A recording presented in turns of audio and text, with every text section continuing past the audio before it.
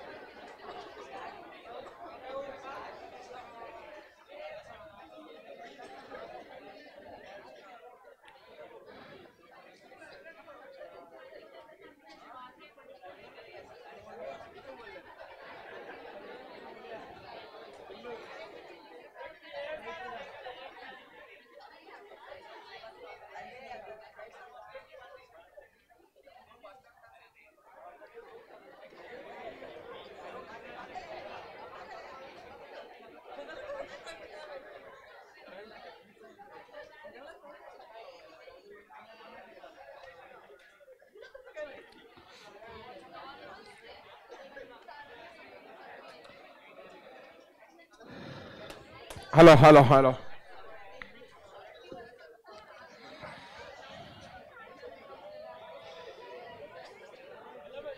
Just a second. Online public, I hope you are able to hear me out.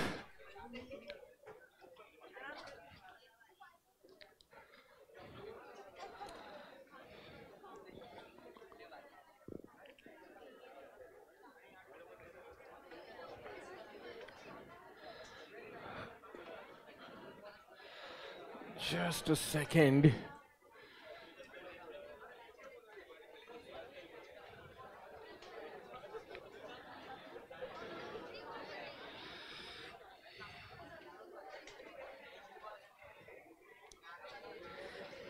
Okay Atul iPad का problem नहीं आ रहा है। Just a second let him fix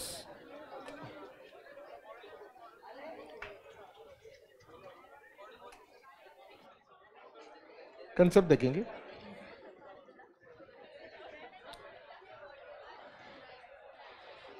just a second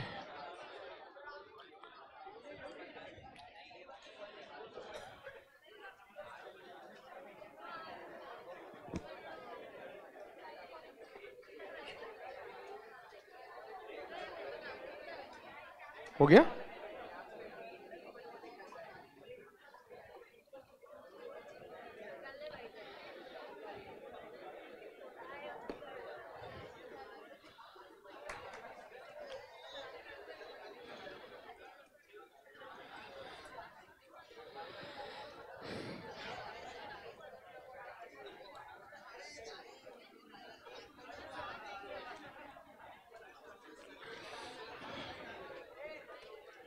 Okay.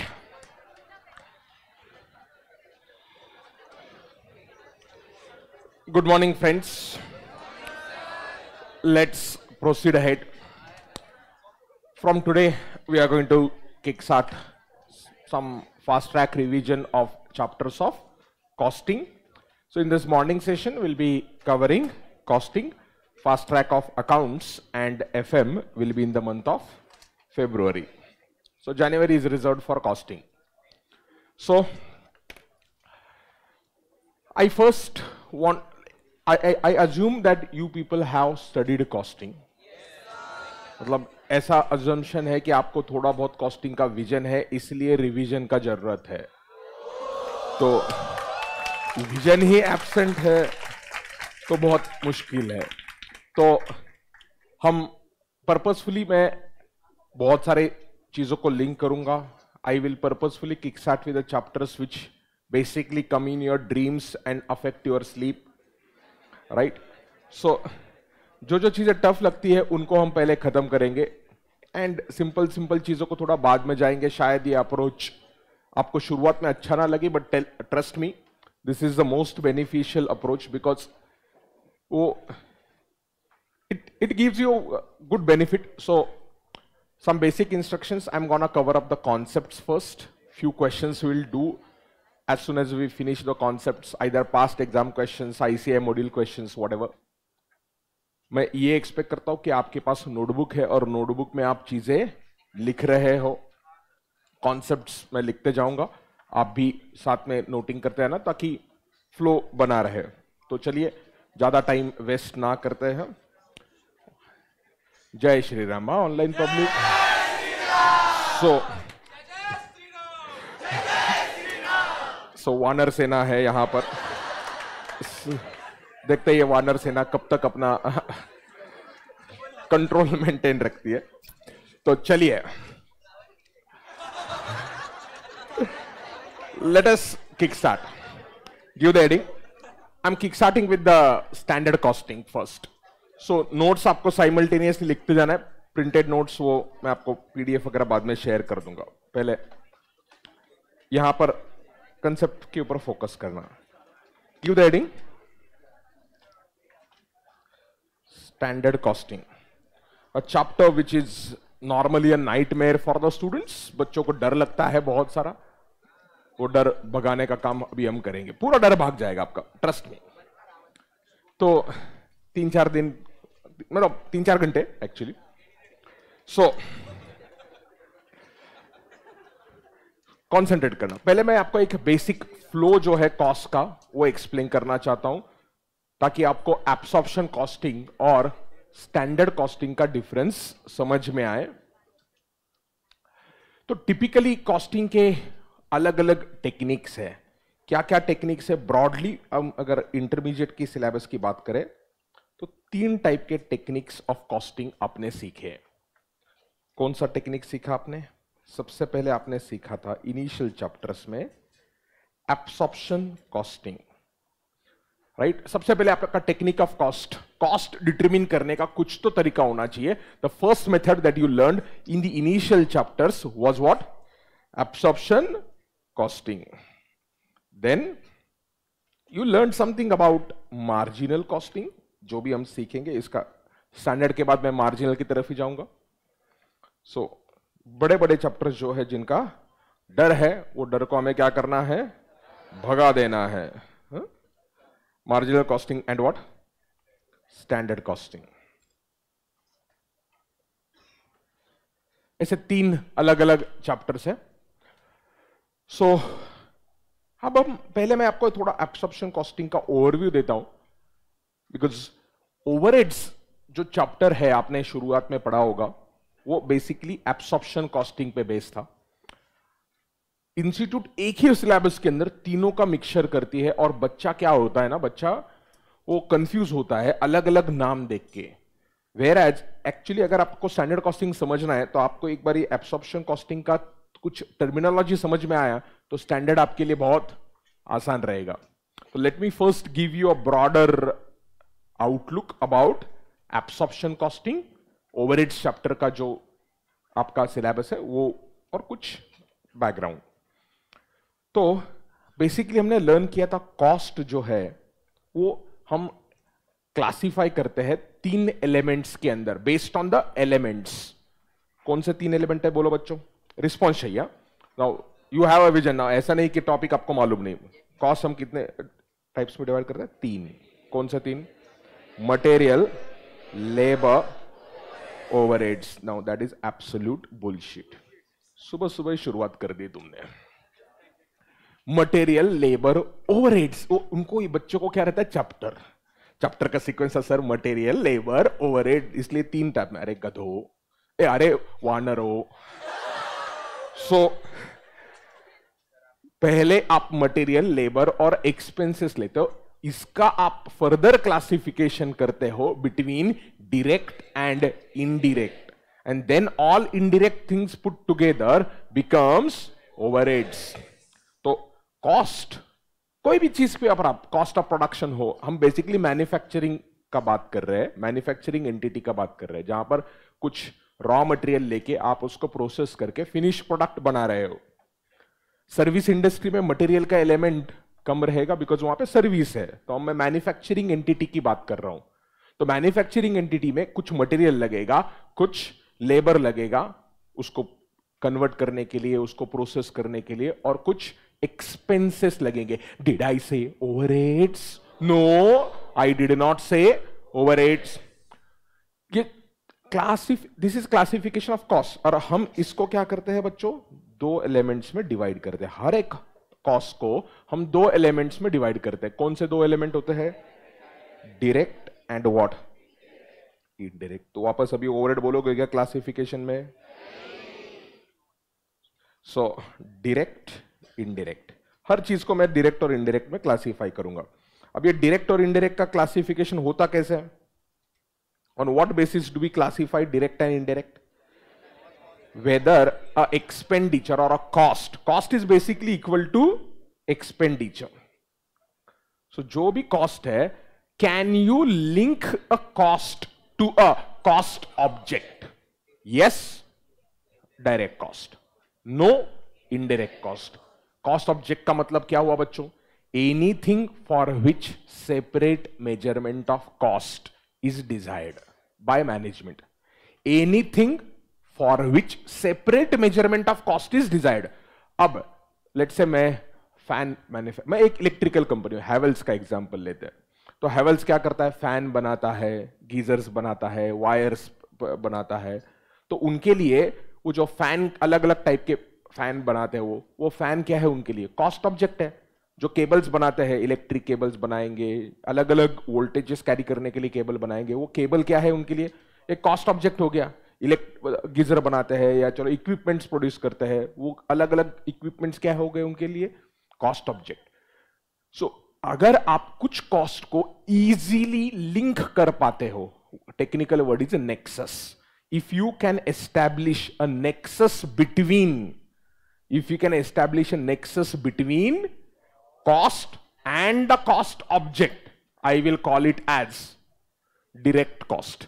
If a nexus cannot be established easily, then I call it as indirect cost. See बहुत सारे cases में आपको nexus establish होगा तो आप डायरेक्ट कॉस्ट बोलो लाइक फॉर एग्जांपल एक fan बनाने के लिए जो स्टील लगता है वो तो मुझे मालूम है ना यार एक फ़ैन बनाने के लिए कितना स्टील लगेगा I say to make one fan, I require three kilograms of steel of so and so specification. तो क्या हो गया? वो थ्री किलो क्या हो गया मेरा? वो डायरेक्ट कॉस्ट बिकॉज़ मेरे को मालूम है। I said to make one fan I require this much of cable क्योंकि फ़ैन के अंदर मोटर रहता है। मोटर बनाने के लिए मुझे इतना इतना केबल लगेगा।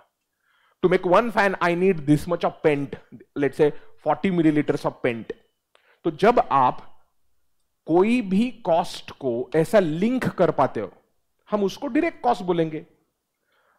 मैं बोलता हूँ to make one fan worker of grade A requires one and half hour to be spent on making of a fan तो उसकी डेढ़ घंटे की जो वेजेस की कॉस्ट है या सैलरी है, वो क्या हो गई? डायरेक्ट कॉस्ट हो गई because I can link that cost to that particular fan model by model time required might differed कुछ मॉडल को डेढ़ घंटा लग सकता है, कुछ मॉडल में दो घंटे लग सकते हैं।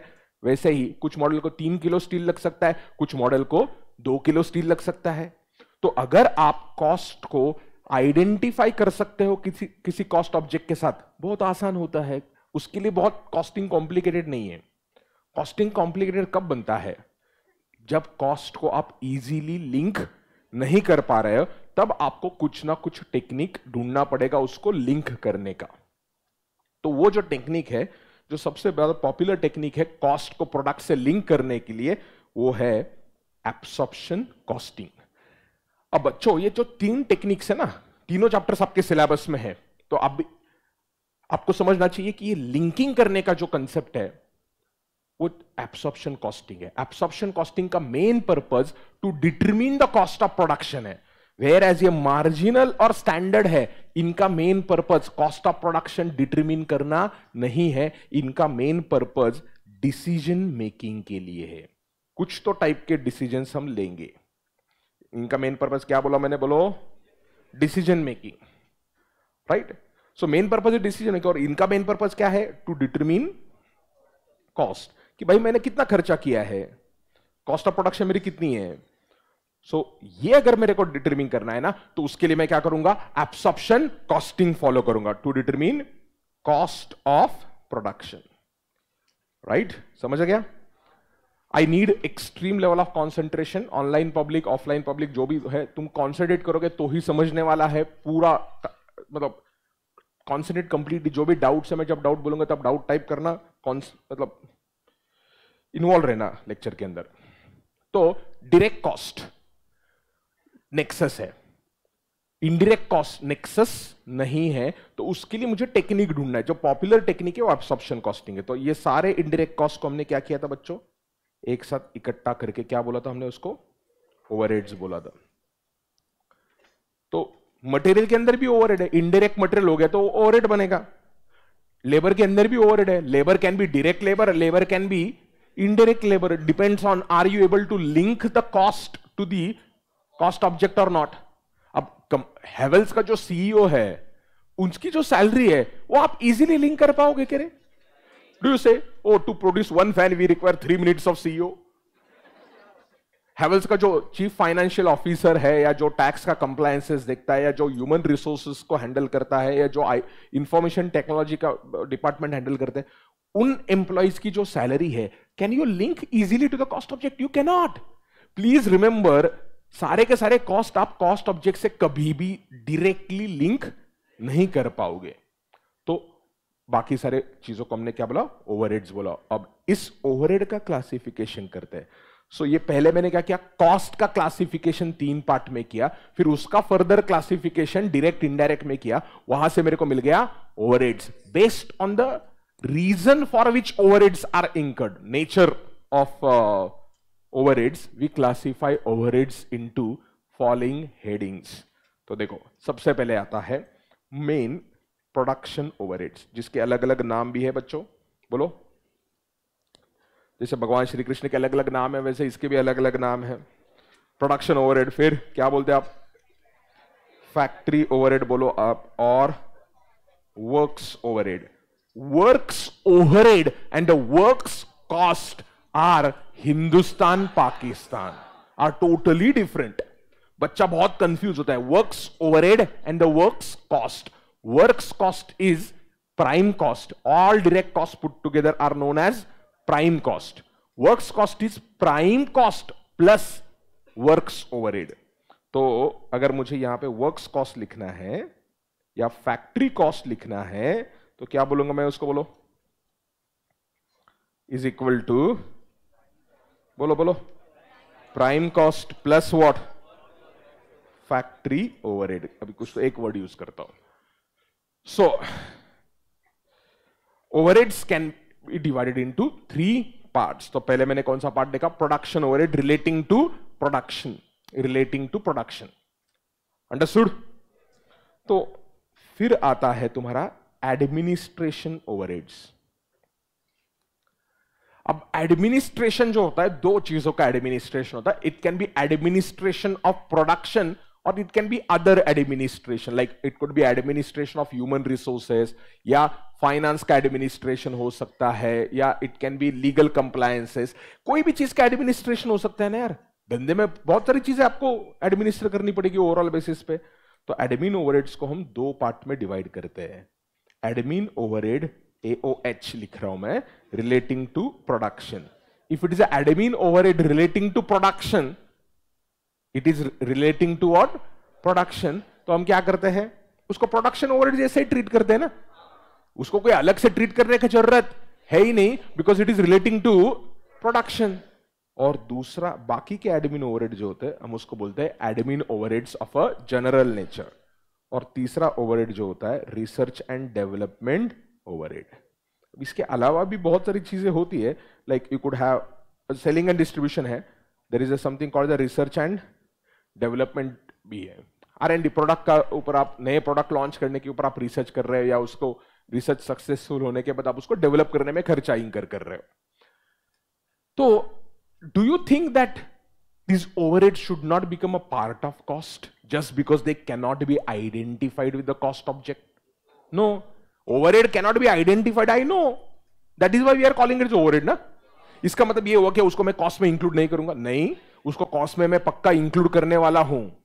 लेकिन उसके लिए कुछ तो टेक्निक चाहिए। वो टेक्निक जो है, वो एब्सॉर्प्शन कॉस्टिंग है।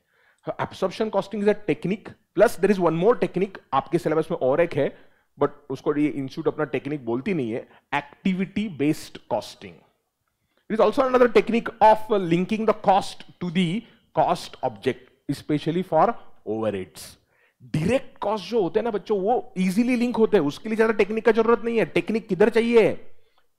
ओवर के लिए टेक्निक चाहिए। तो ओवर के लिए आपके सिलेबस में प्राइमरली दो टेक्निक है टू लिंक द कॉस्ट ये जो दो है ना, ये सच में कॉस्ट डिटरमिन करने के टेक्निक नहीं है। ये सच में डिसीज़न मेकिंग के लिए ज़्यादा फ़ायदा होता है इनका। आपके सिलेबस में डिसीज़न थोड़ा सा कम लेवल का है बट कुछ तो इनपुट्स आपको मिलेगा। Like when I discuss standard costing will understand कि डिसीज़न मेकिंग को फ़ायदा होता है। तो एब्सॉर्प्शन कॉस्टिंग और दूसरा टेक्निक क्या बोला मैंने? ABC ABC activity based costing वो भी चैप्टर है तो हम इसके बाद ले लेंगे। तो पहले मैं क्या करूँगा? स्टैंडर्ड कॉस्टिंग खत्म करूँगा, फिर मार्जिनल मार्जिनल पे जाएँगे, फिर हम बजट्स देखेंगे या एब्सॉर्प्शन कॉस्टिंग देखेंगे एक्टिविटी बेस्ड कॉस्टिंग देखेंगे। तो जो चैप्टर्स है ना, मैं एंडिंग के चैप्टर्स पर्पजफुली ले रहा हूँ, क्योंकि वहाँ पर मार्क्स का वेटेज भी ज़्यादा रहता है। प्लस मटेरियल लेबर वाले जो चैप्टर्स है यार, वो बहुत बेसिक लेवल के चैप्टर्स है। तो उनको हम टाइम थोड़ा सा देंगे, लेकिन कम देंगे, हा? तो ये एओएचपी जो है, उसको मैंने कहाँ पे ले लिया? You can take it like a production over its it अभी एग्ज़ाम के अंदर बहुत बार जो होता है, वो एग्जामिनर देता नहीं है कि कौन से टाइप का एडमिन ओवर है। एग्जामिनर सिर्फ़ लिख के देता है तुमको एडमिन ओवर अरे भाई लिख के देना यार। कौन सा टाइप का एडमिन ओरिडा तो तुम्हारा लक है थोड़ा बहुत। तो आपको अजम्पन लिख के आना पड़ेगा कि admin overhead relating to production और जनरल अगर हिंट देता हूँ एग्जामिनर में कभी भी ऑफ़िस ओवरहेड यूज़ किया। इसको है ना, ये बहुत बार क्या बोलते हैं? Office overhead the moment he uses the word office it is a general administration don't even think about it but if you uses just the word admin overhead then it is a game of assumptions not a game of thrones It's a game of assumptions. So, what assumption you have to make? You have to make assumption. तो मैं assume करूँगा कि भाई ये admin overhead general nature का है कोई assume कर सकता है ये एडमिन ओवरहेड प्रोडक्शन रिलेटेड है तो कुछ नहीं दिया तो आप A O H G assume करके चलना एओ एच जी अज्यूम करके आगे बढ़ना तो इन ओवरहेड्स को लिंक करना अभी जो आपको और एक चीज़ एंगल कॉस्ट का समझना है, जो इंपॉर्टेंट है समझने के लिए चैप्टर्स को। I am just putting it across cost is divided into two parts product cost and what बोलो बच्चों।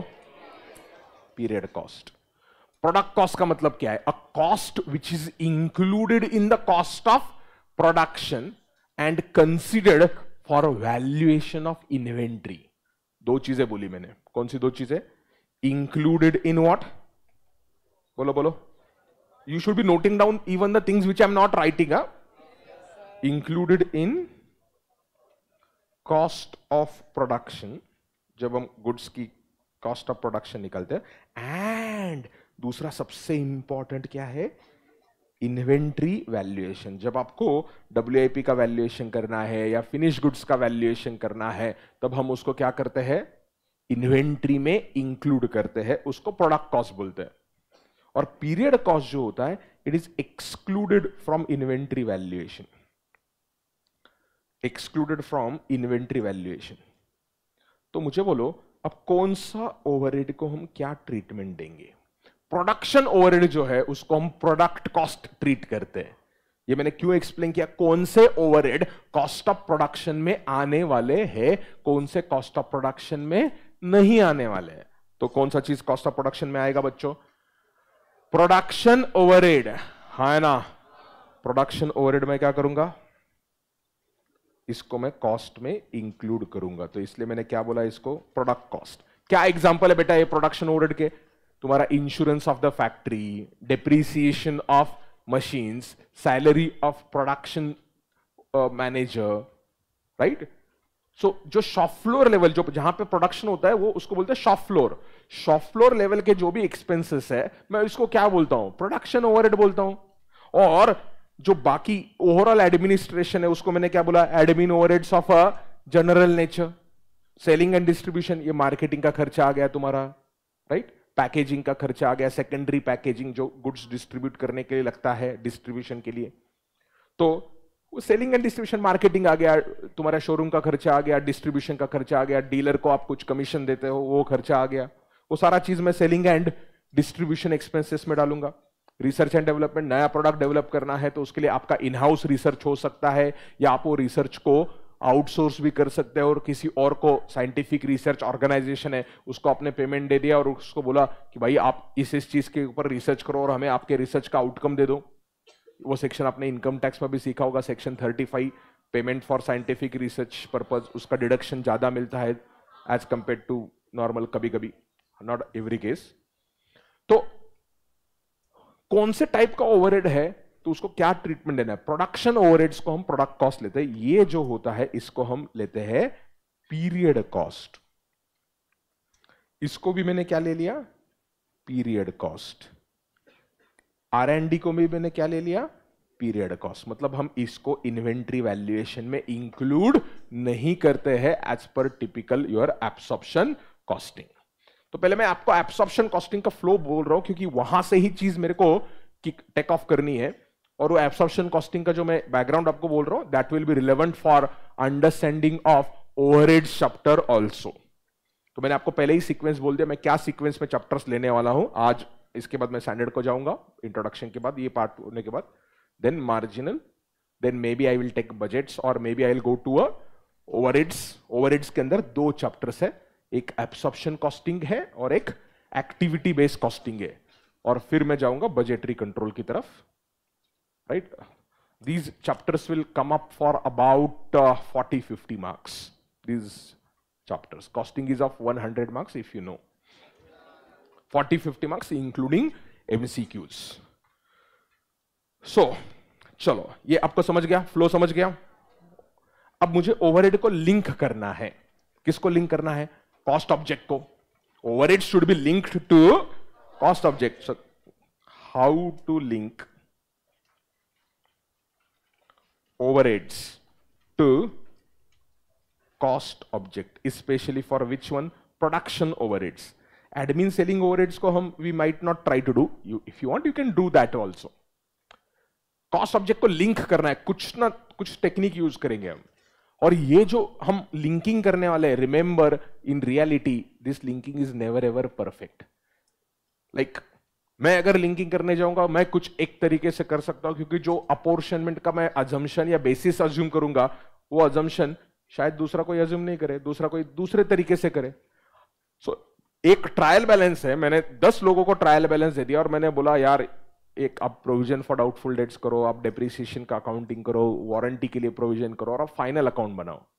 बेटा, हर एक के हिसाब से फाइनल अकाउंट अलग अलग आ सकता है because there are there is use of estimates while preparing financial statements exactly costing के अंदर भी आप जब कॉस्ट ऑफ़ प्रोडक्ट डिटरमिन करते हो, कुछ कॉस्ट एक्सप्लिसिटली लिंकेबल है to the product direct cost but कुछ कॉस्ट जो इजीली लिंकेबल या एक्सप्लिसिटली लिंकेबल नहीं है, वहाँ पर आपको क्या करना पड़ता है? कुछ ना कुछ तो अजम्पन लगाना पड़ता है। There is no alternative to it तो हाउ टू लिंक क्या लिखूँगा इसके अंदर में?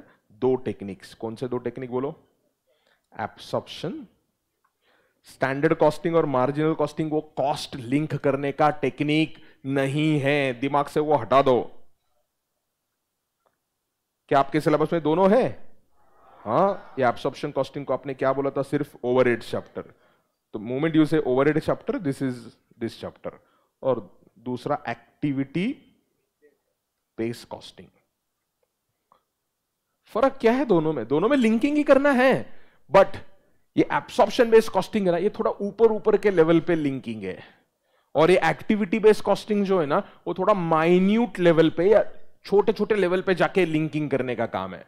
तो आप ऊपर ऊपर के लेवल पे लिंकिंग करोगे तो आंसर्स थोड़े अलग रहेंगे और आप माइन्यूट लेवल पे जाके लिंकिंग करोगे लोएस्ट पॉसिबल लेवल पे जाके लिंकिंग करोगे तो आंसर्स अलग आएँगे। दोनों तरीके कंप्लीटली अलग है। तो पहले मैं एब्सॉर्प्शन कॉस्टिंग हेल्प कर रहा हूँ आपको। तो ये एब्सॉर्प्शन कॉस्टिंग क्या बोलता है? जो भी ओवरहेड्स है, उन ओवरहेड्स को आप डिपार्टमेंट्स को लिंक करो। I am explaining you what absorption costing activity based costing मैं चैप्टर के अंदर ही एक्सप्लेन करूँगा। आज नहीं एक्सप्लेन कर रहा हूँ, क्योंकि बहुत ज़्यादा हो जाएगा। समझ रहा है ना लिंकिंग दिमाग कुछ यादें आ रही वापस? हाँ पुरानी यादें। फेल होके आई होगी या जो भी है, पहली बार पढ़ रहे होगे कैसे भी। इट्स ओके यार। फ़र्क अबाउट इट जो भी हो गया है? जो भी हो गया क्या? टाइम लगता है कुछ कुछ चीज़ों में, जैसे हमें 500 साल लगे कुछ चीज़ों को चेंज करने के लिए। लगता है टाइम ओवर हम्म? तो ये जो टेक्निक है एब्सॉर्प्शन कॉस्टिंग ये क्या बोलता है? पहले लिंकिंग आप डिपार्टमेंट को करो। डिपार्टमेंट जो है ना बेटा, वो बहुत ग्लोबल लेवल की चीज़ है, बहुत बड़े लेवल की चीज़ है। एक्टिविटी बेस्ड कॉस्टिंग में हम डिपार्टमेंट को लिंक नहीं करेंगे। हम छोटी छोटी चीज़ें ढूंढेंगे जिसको हम फैंसी लैंग्वेज में बोलेंगे कॉस्ट पुल क्या वर्ड यूज़ किया मैंने? कॉस्ट पुल लेकिन वो पुल हम आज नहीं करते। आज थोड़ा ठंडी है तो पुल में बाद में जाएँगे। ओवर हम लिंक करेंगे डिपार्टमेंट्स को। हम सारे डिपार्टमेंट को दो टाइप्स में बाइफरकेट करते हैं। कौन से दो टाइप्स में?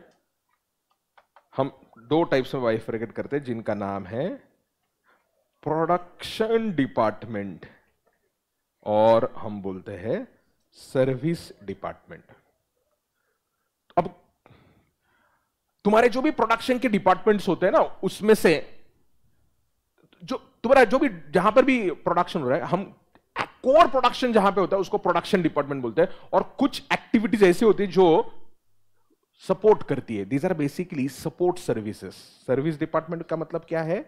सपोर्ट सर्विसेज़ लाइक मैन्युफैक्चरिंग करने के लिए आपको कुछ सर्विसेज़ की ज़रूरत पड़ती है। लाइक मेंटेनेंस डिपार्टमेंट है। प्लांट एंड मशीनरी का इन हाउस मेंटेनेंस का डिपार्टमेंट आपके पास होना चाहिए। नहीं तो मशीनरी खराब हो गया, आप कहीं बाहर से रिपेयर करने के लिए किसी को बुला के लेके आओगे। It could take a lot of time तो आपकी in house there could be a maintenance department production department के सारे एम्प्लॉयज़ है, उनका इन आउट टाइम मेंटेन करना है, उनकी छुट्टियों का रिकॉर्ड मेंटेन करना है, या उनके लेबर लॉ रिलेटेड कंप्लायंसेस करने हैं, उसके लिए आपने टाइम कीपिंग डिपार्टमेंट रखा है, जो सर्विस देता है। या आपको प्रोडक्शन के लिए रॉ मटेरियल चाहिए तो स्टोर्स डिपार्टमेंट है, जो सारे रॉ मटेरियल को स्टोर करता है, और वो रॉ मटेरियल जब चाहे तब इनको इश्यू कर देता है। तो ये ऐसी अलग अलग एक्टिविटीज़ करने के लिए जो सपोर्ट फ़ंक्शंस होते हैं, उन सारे सपोर्ट फ़ंक्शंस को मैं क्या बोल रहा हूँ? सर्विस डिपार्टमेंट सपोर्ट फ़ंक्शंस को मैं बोल रहा हूँ सर्विस डिपार्टमेंट और प्रोडक्शन डिपार्टमेंट जहाँ पर कोर प्रोडक्शन हो रहा है। तो जितने भी ओवरहेड्स है, ठीक से समझना एब्सॉर्प्शन कॉस्टिंग में होता क्या है? यही चीज़ मैं आपको ओवरहेड चैप्टर में जाके थोड़ा सा ब्रीफ में बोलूँगा। ओवरहेड में मैं वापस रिपीट नहीं करने वाला टाइम इज़ इंपॉर्टेंट तो सबसे पहले हम ओवरहेड्स का एस्टिमेट लगाते हैं। ये, अब एस्टिमेट क्यों? ये जो लिंकिंग का काम है ना, हम दो स्टेजेस में करते हैं। In advance on budgeted basis and then at actuals also समझ लेना, ये इंपॉर्टेंट है। इससे ही अंडर एब्सॉर्प्शन और ओवर एब्सॉर्प्शन आने वाला है। उसी को ही जाके मैं ओवर कॉस्ट वेरियंस ऐसा नाम देने वाला और फिर हम उसके बच्चे पैदा करेंगे एनालिसिस करेंगे। तो समझ लेना, दो स्टेजेस में काम होता है। मैं एक प्रोड्यूसर हूँ। लेट से मैं फैंस प्रोड्यूस कर रहा हूँ। मुझे कोई बड़ा ऑर्डर मिल गया। लेट से मुझे किसी स्कूल को या किसी इंस्टीट्यूशन को टेन थाउज़ेंड फैंस सप्लाई करने उन्होंने मेरे से कोटेशन मांगा कि भाई आप ये टेन थाउज़ेंड फैंस क्या प्राइस पे बेचोगे? मैं बोलता हूँ नहीं, ठीक है, आज मैं प्राइस नहीं बोलता हूँ। चलो ठीक है, मैं आपको बेचता हूँ। बेचने के बाद, हम प्रोडक्शन करने के बाद हम कॉस्ट आइडेंटिफाई करेंगे, उसमें हमारा प्रॉफिट हम ऐड करेंगे और फिर हम आपको इनवाइस भेजेंगे। कभी आपने सुना है ऐसा धंधा करते हुए? नहीं ना? आपको कस्टमर को प्राइस एडवांस में बोलना पड़ेगा। Logically price will fix in advance right तो उसको प्राइस एडवांस में बोलने के लिए आपके पास कॉस्ट का डेटा भी होना चाहिए ना। कहाँ से लाओगे? एस्टिमेट करेंगे एग्जैक्ट कॉस्ट एडवांस में हम एस्टिमेट कर सकते हैं क्या? नहीं। तो पहले हम सिर्फ़ डायरेक्ट कॉस्ट जो है वो थोड़ा, बहुत ज़्यादा क्लैरिटी के साथ मालूम है। वो भी एग्जैक्टली exactly मालूम नहीं है। क्यों? मटेरियल का रेट वेरी होता है ना? किसने बोला कि मटेरियल का रेट एग्जैक्टली सेम रहेगा? Can rate of material very yes so धंधे में ये रिस्क तो है ही कि आप जब कस्टमर को कोट दिए कोटेशन कोट मतलब कस्टमर को जब आपने कोटेशन दिया तो जो कॉस्ट आपने कंसिडर की और जो कॉस्ट आपने एक्चुअल में इंकर की, उसमें डिफरेंस हो सकता है कि नहीं हो सकता है? हर बिज़नेस में ये इंप्लीसिट रिस्क रहता ही है। रहता ही है, या बहुत सारे बिजनेसेस में आपको एडवांस में कस्टमर का डिमांड एंटीसिपेट करना होता है, उसके हिसाब से गुड्स प्रोड्यूस करके रखने होते हैं। आपने जब प्रोडक्शन किया, तब जो रेट्स थे मटेरियल के, वो अलग रहेंगे। जब आप मार्केट में बेचने जाओगे तो रेट्स बहुत डिक्लाइन हो गए that's why customers are not willing to pay take an example of Tanishq कोई भी सीज़न है लेट से मैरिज सीज़न या दिवाली या ऐसा कोई भी सीज़न है, उसके पहले उनको ज्वेलरी का डिमांड आने वाला है तो वो ज्वेलरी कब प्रोड्यूस करके रखेंगे? कुछ दिन पहले प्रोड्यूस करके रखेंगे। जब उन्होंने प्रोडक्शन किया तब गोल्ड का रेट एक्स था। जब एक्चुअल बेचने गए तो gold has drop by thirty percent अब मुझे बोलो, जब बेचने जाओगे और गोल्ड का कीमत तीस टका नीचे है तो क्या आप ज्वेलरी, आप कस्टमर को बोल सकते नहीं रहा हमने जब बनाया था ना ये इयरिंग तब क्या था? गोल्ड का रेट ज़्यादा था, इसलिए हम तुमको ज़्यादा रेट पे बेचेंगे। क्या तनिष्क ऐसा बोल सकता है? तो तनिष्क के बिज़नेस में ये मटेरियल का प्राइस जो बोलते हैं, हम उसको फैंसी लगेगा कमोडिटी प्राइसेस कमोडिटी के प्राइसेस फ्लक्चुएट हो गए रिस्क है कि नहीं है? हाँ वो रिस्क रहता ही है। उसको मिनिमाइज करने के लिए कुछ कुछ टेक्निक्स होते हैं, आपके सिलेबस में नहीं है। मेजोरिटी गोल्ड ज्वेलर्स जो भी होते हैं, वो हेजिंग करते हैं। एमसीएक्स मल्टी कमोडिटी एक्सचेंज करके एक चीज़ है हमारे कंट्री में, वहाँ पे जाके ये गोल्ड का क्या करते हैं? हेजिंग करते हैं। वो अलग पार्ट है। How to manage the volatility in the prices of various commodities is a separate discussion तो आपको समझा क्या? इससे एक चीज़ समझा, मेरे को कॉस्ट पहले एस्टिमेट करना होता है और ताकि मैं कस्टमर को कोटेशन दू या सेलिंग प्राइस बोल सकूँ। सेम चीज़ ओवरहेड के बारे में भी होता है। मेरे को पहले क्या करना पड़ेगा? एस्टिमेट करना पड़ेगा। तो मैं पहले क्या करूँगा? एस्टिमेट ओवरहेड्स देन एस्टिमेट जब अगर आपको ओवरहेड एस्टिमेट करना है बेटा, उसके लिए आप कितना क्वांटिटी प्रोड्यूस करने वाले हैं, उसका भी एस्टिमेट करना पड़ेगा। You should not just estimate the amount of overheads you have to also estimate quantity of the goods to be produced तो और क्या एस्टिमेट करना पड़ेगा मेरे को? Estimate quantity of finish goods to be produced and sold और ये estimate का काम हम अलग चैप्टर में करेंगे। कौन सा चैप्टर है वो? बजेटरी कंट्रोल और बजट्स उसमें हम एस्टिमेट करने का ही काम करने वाले हैं। तो मैंने ये quantity of the goods to be produce estimate किया। कितने ओवरहेड इंकर हो गए वो एस्टिमेट किया। लेकिन अब ये ओवरहेड जो एस्टिमेट किए, ये मुझे कॉस्ट ऑब्जेक्ट को लिंक करने हैं। ये ओवरहेड्स मुझे कहाँ पे लिंक करने हैं? कॉस्ट ऑब्जेक्ट को लिंक करने डायरेक्ट कॉस्ट जो है, वो तो बहुत आसानी से लिंकेबल है। कैसे लिंकेबल है? एक प्रोडक्ट को कितना रॉ मटेरियल लगता है, वो किधर लिखा रहता है? बिल ऑफ़ मटेरियल तो बिल ऑफ़ मटेरियल में to produce one finish goods what all raw material you require उसका लिस्ट रहता है। कौन बनाता है ये bill of material engineering production department या तुम्हारा इंजीनियरिंग टीम या डिज़ाइन टीम जो रहेगा, जब प्रोडक्ट डिज़ाइन करते हैं, तभी बोलेंगे, एक प्रोडक्ट मैन्युफैक्चर करने के लिए ये चीज़ें लगेगी। उसका रेट आपको एस्टिमेट करना पड़ेगा, जो रेट पे आप प्रोक्योर करना चाहते हो या करो, कर सकते हो।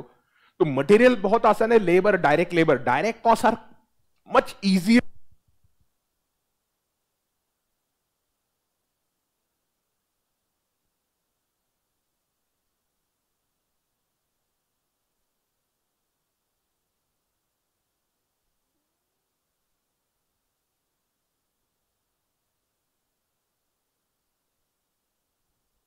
hello hello हाँ। Direct cost are much easier to link indirect cost में क्या होता है? दिक्कत होता है। तो इनडायरेक्ट कॉस्ट को मैंने क्या किया? पहले ओवरहेड्स एस्टिमेट कर लिया क्वांटिटी भी मैंने एस्टिमेट कर लिया। अब तीसरा चीज़, जो भी ओवरहेड्स है, उनको आप क्या करोगे? दो चीज़ें करोगे। पहले अलोकेशन होगा। There will be some overheads which can be easily identified with reference to particular department production department मतलब एक नहीं है बेटा। मल्टीपल प्रोडक्शन डिपार्टमेंट है. सिमिलरली सर्विस डिपार्टमेंट एक नहीं है. मल्टीपल सर्विस डिपार्टमेंट है.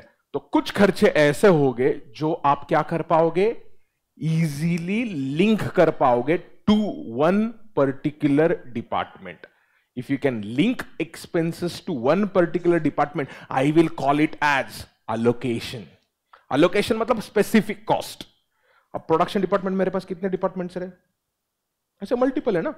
पी डी वन हम एग्ज़ाम में ऐसे नाम यूज़ करते हैं। P D two P D three ऐसे नाम यूज़ करते हैं। तो हम हर एक प्रोडक्शन डिपार्टमेंट है तो उसके लिए कुछ खर्चा होगा जो लिंकेबल है लाइक इलेक्ट्रिसिटी का आपने अलग अलग मीटर लगा के रखा है। हर एक डिपार्टमेंट को अलग अलग मीटर लगा के रखा है आपने। तो आपका जो इलेक्ट्रिसिटी का एक्सपेंसेस है it can be identified with reference to each department लेकिन आपने अगर डिपार्टमेंट वाइज मटेरियल इलेक्ट्रिसिटी का मीटर लगाया नहीं आपके पास पूरे फैक्ट्री का एक ही मीटर है तो इलेक्ट्रिसिटी का कॉस्ट बन गया आपका कॉमन कॉस्ट उसको हम बोलेंगे अपोर्शनमेंट तो हम अगला तीसरा पॉइंट रहेगा अपना अलोकेशन और चौथा पॉइंट क्या रहेगा बच्चों? अपोर्शनमेंट तो क्या किया मैंने? सारे ओवरहेड जो है, उनका आइदर अलोकेशन किया या ओवरहेड का मैंने क्या किया? अपोर्शनमेंट हाँ है ना? आइदर मैंने अलोकेशन किया, या मैंने अपोर्शनमेंट किया। आर यू क्लियर तो अलोकेशन और अपोर्शनमेंट के बाद क्या हो गया? सारे के सारे ओवरहेड आइदर कुछ ना कुछ डिपार्टमेंट के साथ लिंक हो गए। ओवरहेड्स आइदर पीडी वन में जाके बैठा है पीडी टू में जाके बैठा है पीडी थ्री में जाके बैठा है, या सर्विस डिपार्टमेंट में जाके बैठा किधर ना किधर तो ओवरहेड क्या होएगा? लिंक होएगा। हो चुका है कि नहीं? लिंक हो चुका है। हाँ। अब लेट्स अज्यूम मैं केबल मैन्युफैक्चरर हूँ। मैं कॉपर का केबल बनाता हूँ। अब कॉपर का केबल बनाने के लिए there are lot of processes लेकिन मैं सिर्फ़ कॉपर से ही केबल नहीं बना सकता हूँ। मैं एक ऑप्टिक फाइबर होता है। ऑप्टिक फाइबर का भी केबल बना सकता हूँ। कॉपर का केबल इलेक्ट्रिसिटी के लिए काम में आ सकता है। ऑप्टिक फाइबर का केबल डेटा ट्रांसफ़र के लिए काम में आता है। तो मेरा केबल का फैक्ट्री है।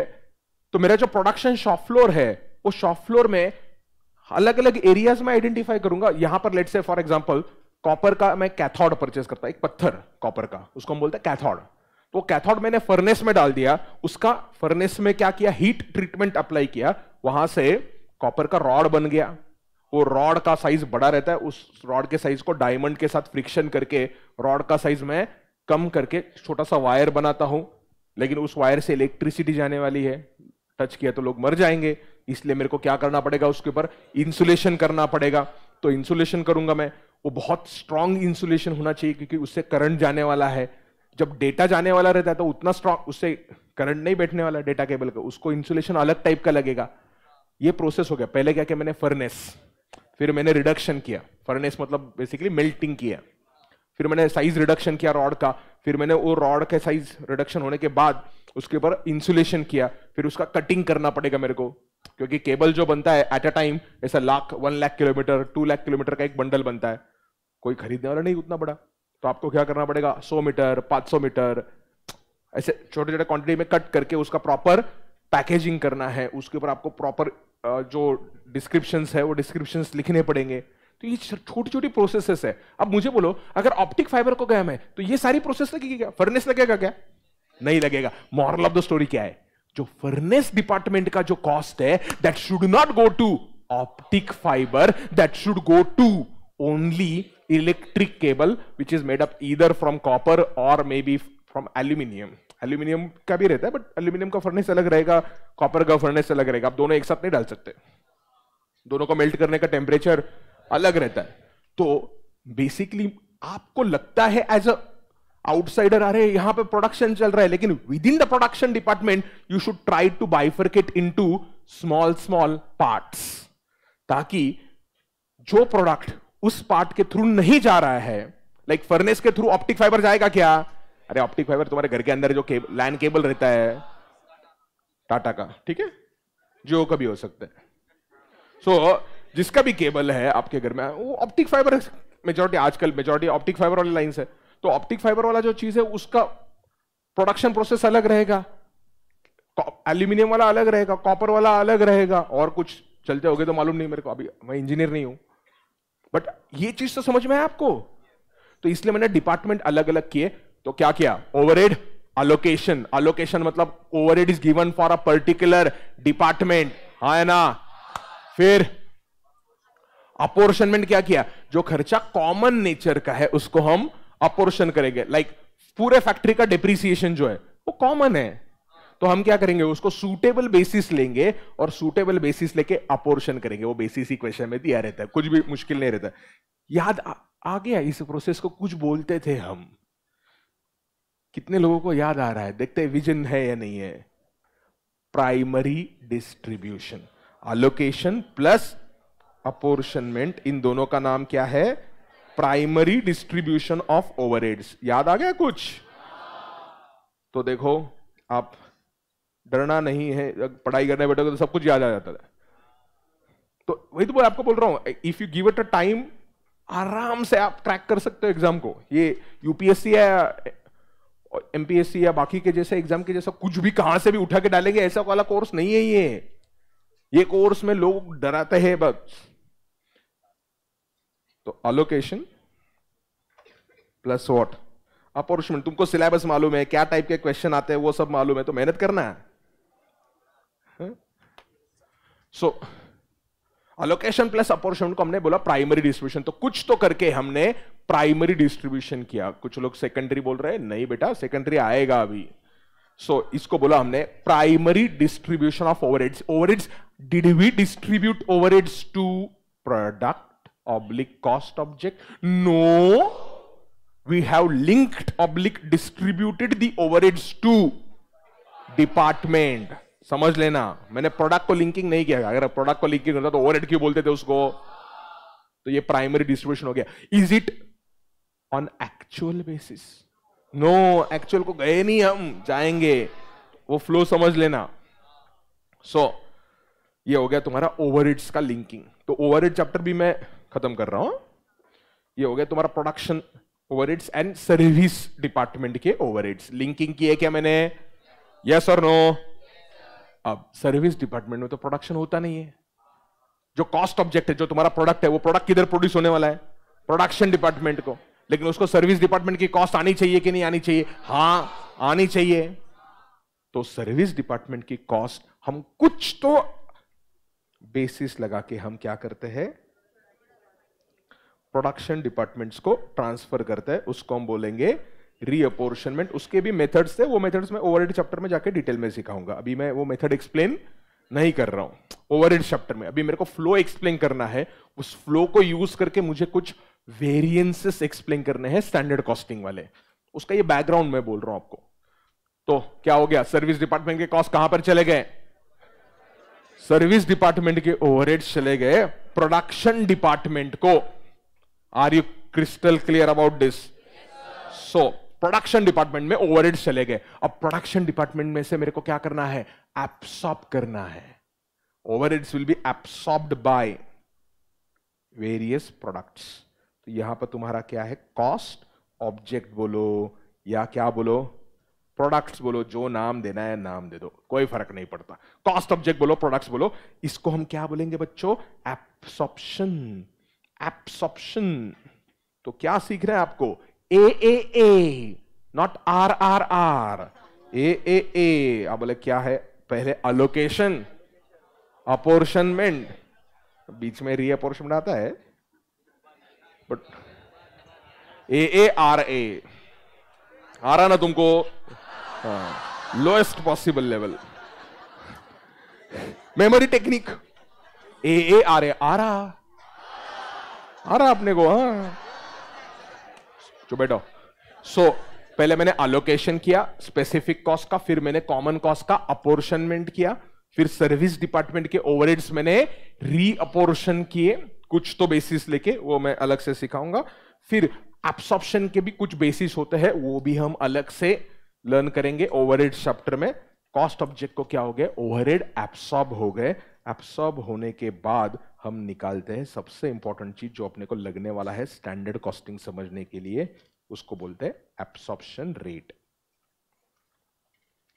क्या बोला मैंने बच्चों? Absorption rate what is absorption rate absorption rate is overhead per unit और per hour per hour can be per machine hour और per labour hour per unit of something so whatever is the basis of absorption like, absorption rate in reality, you could express either, this is basically nothing but overhead per unit. और कुछ कुछ लोग क्या बोलते हैं? Overhead per hour our के अंदर भी क्या होता है?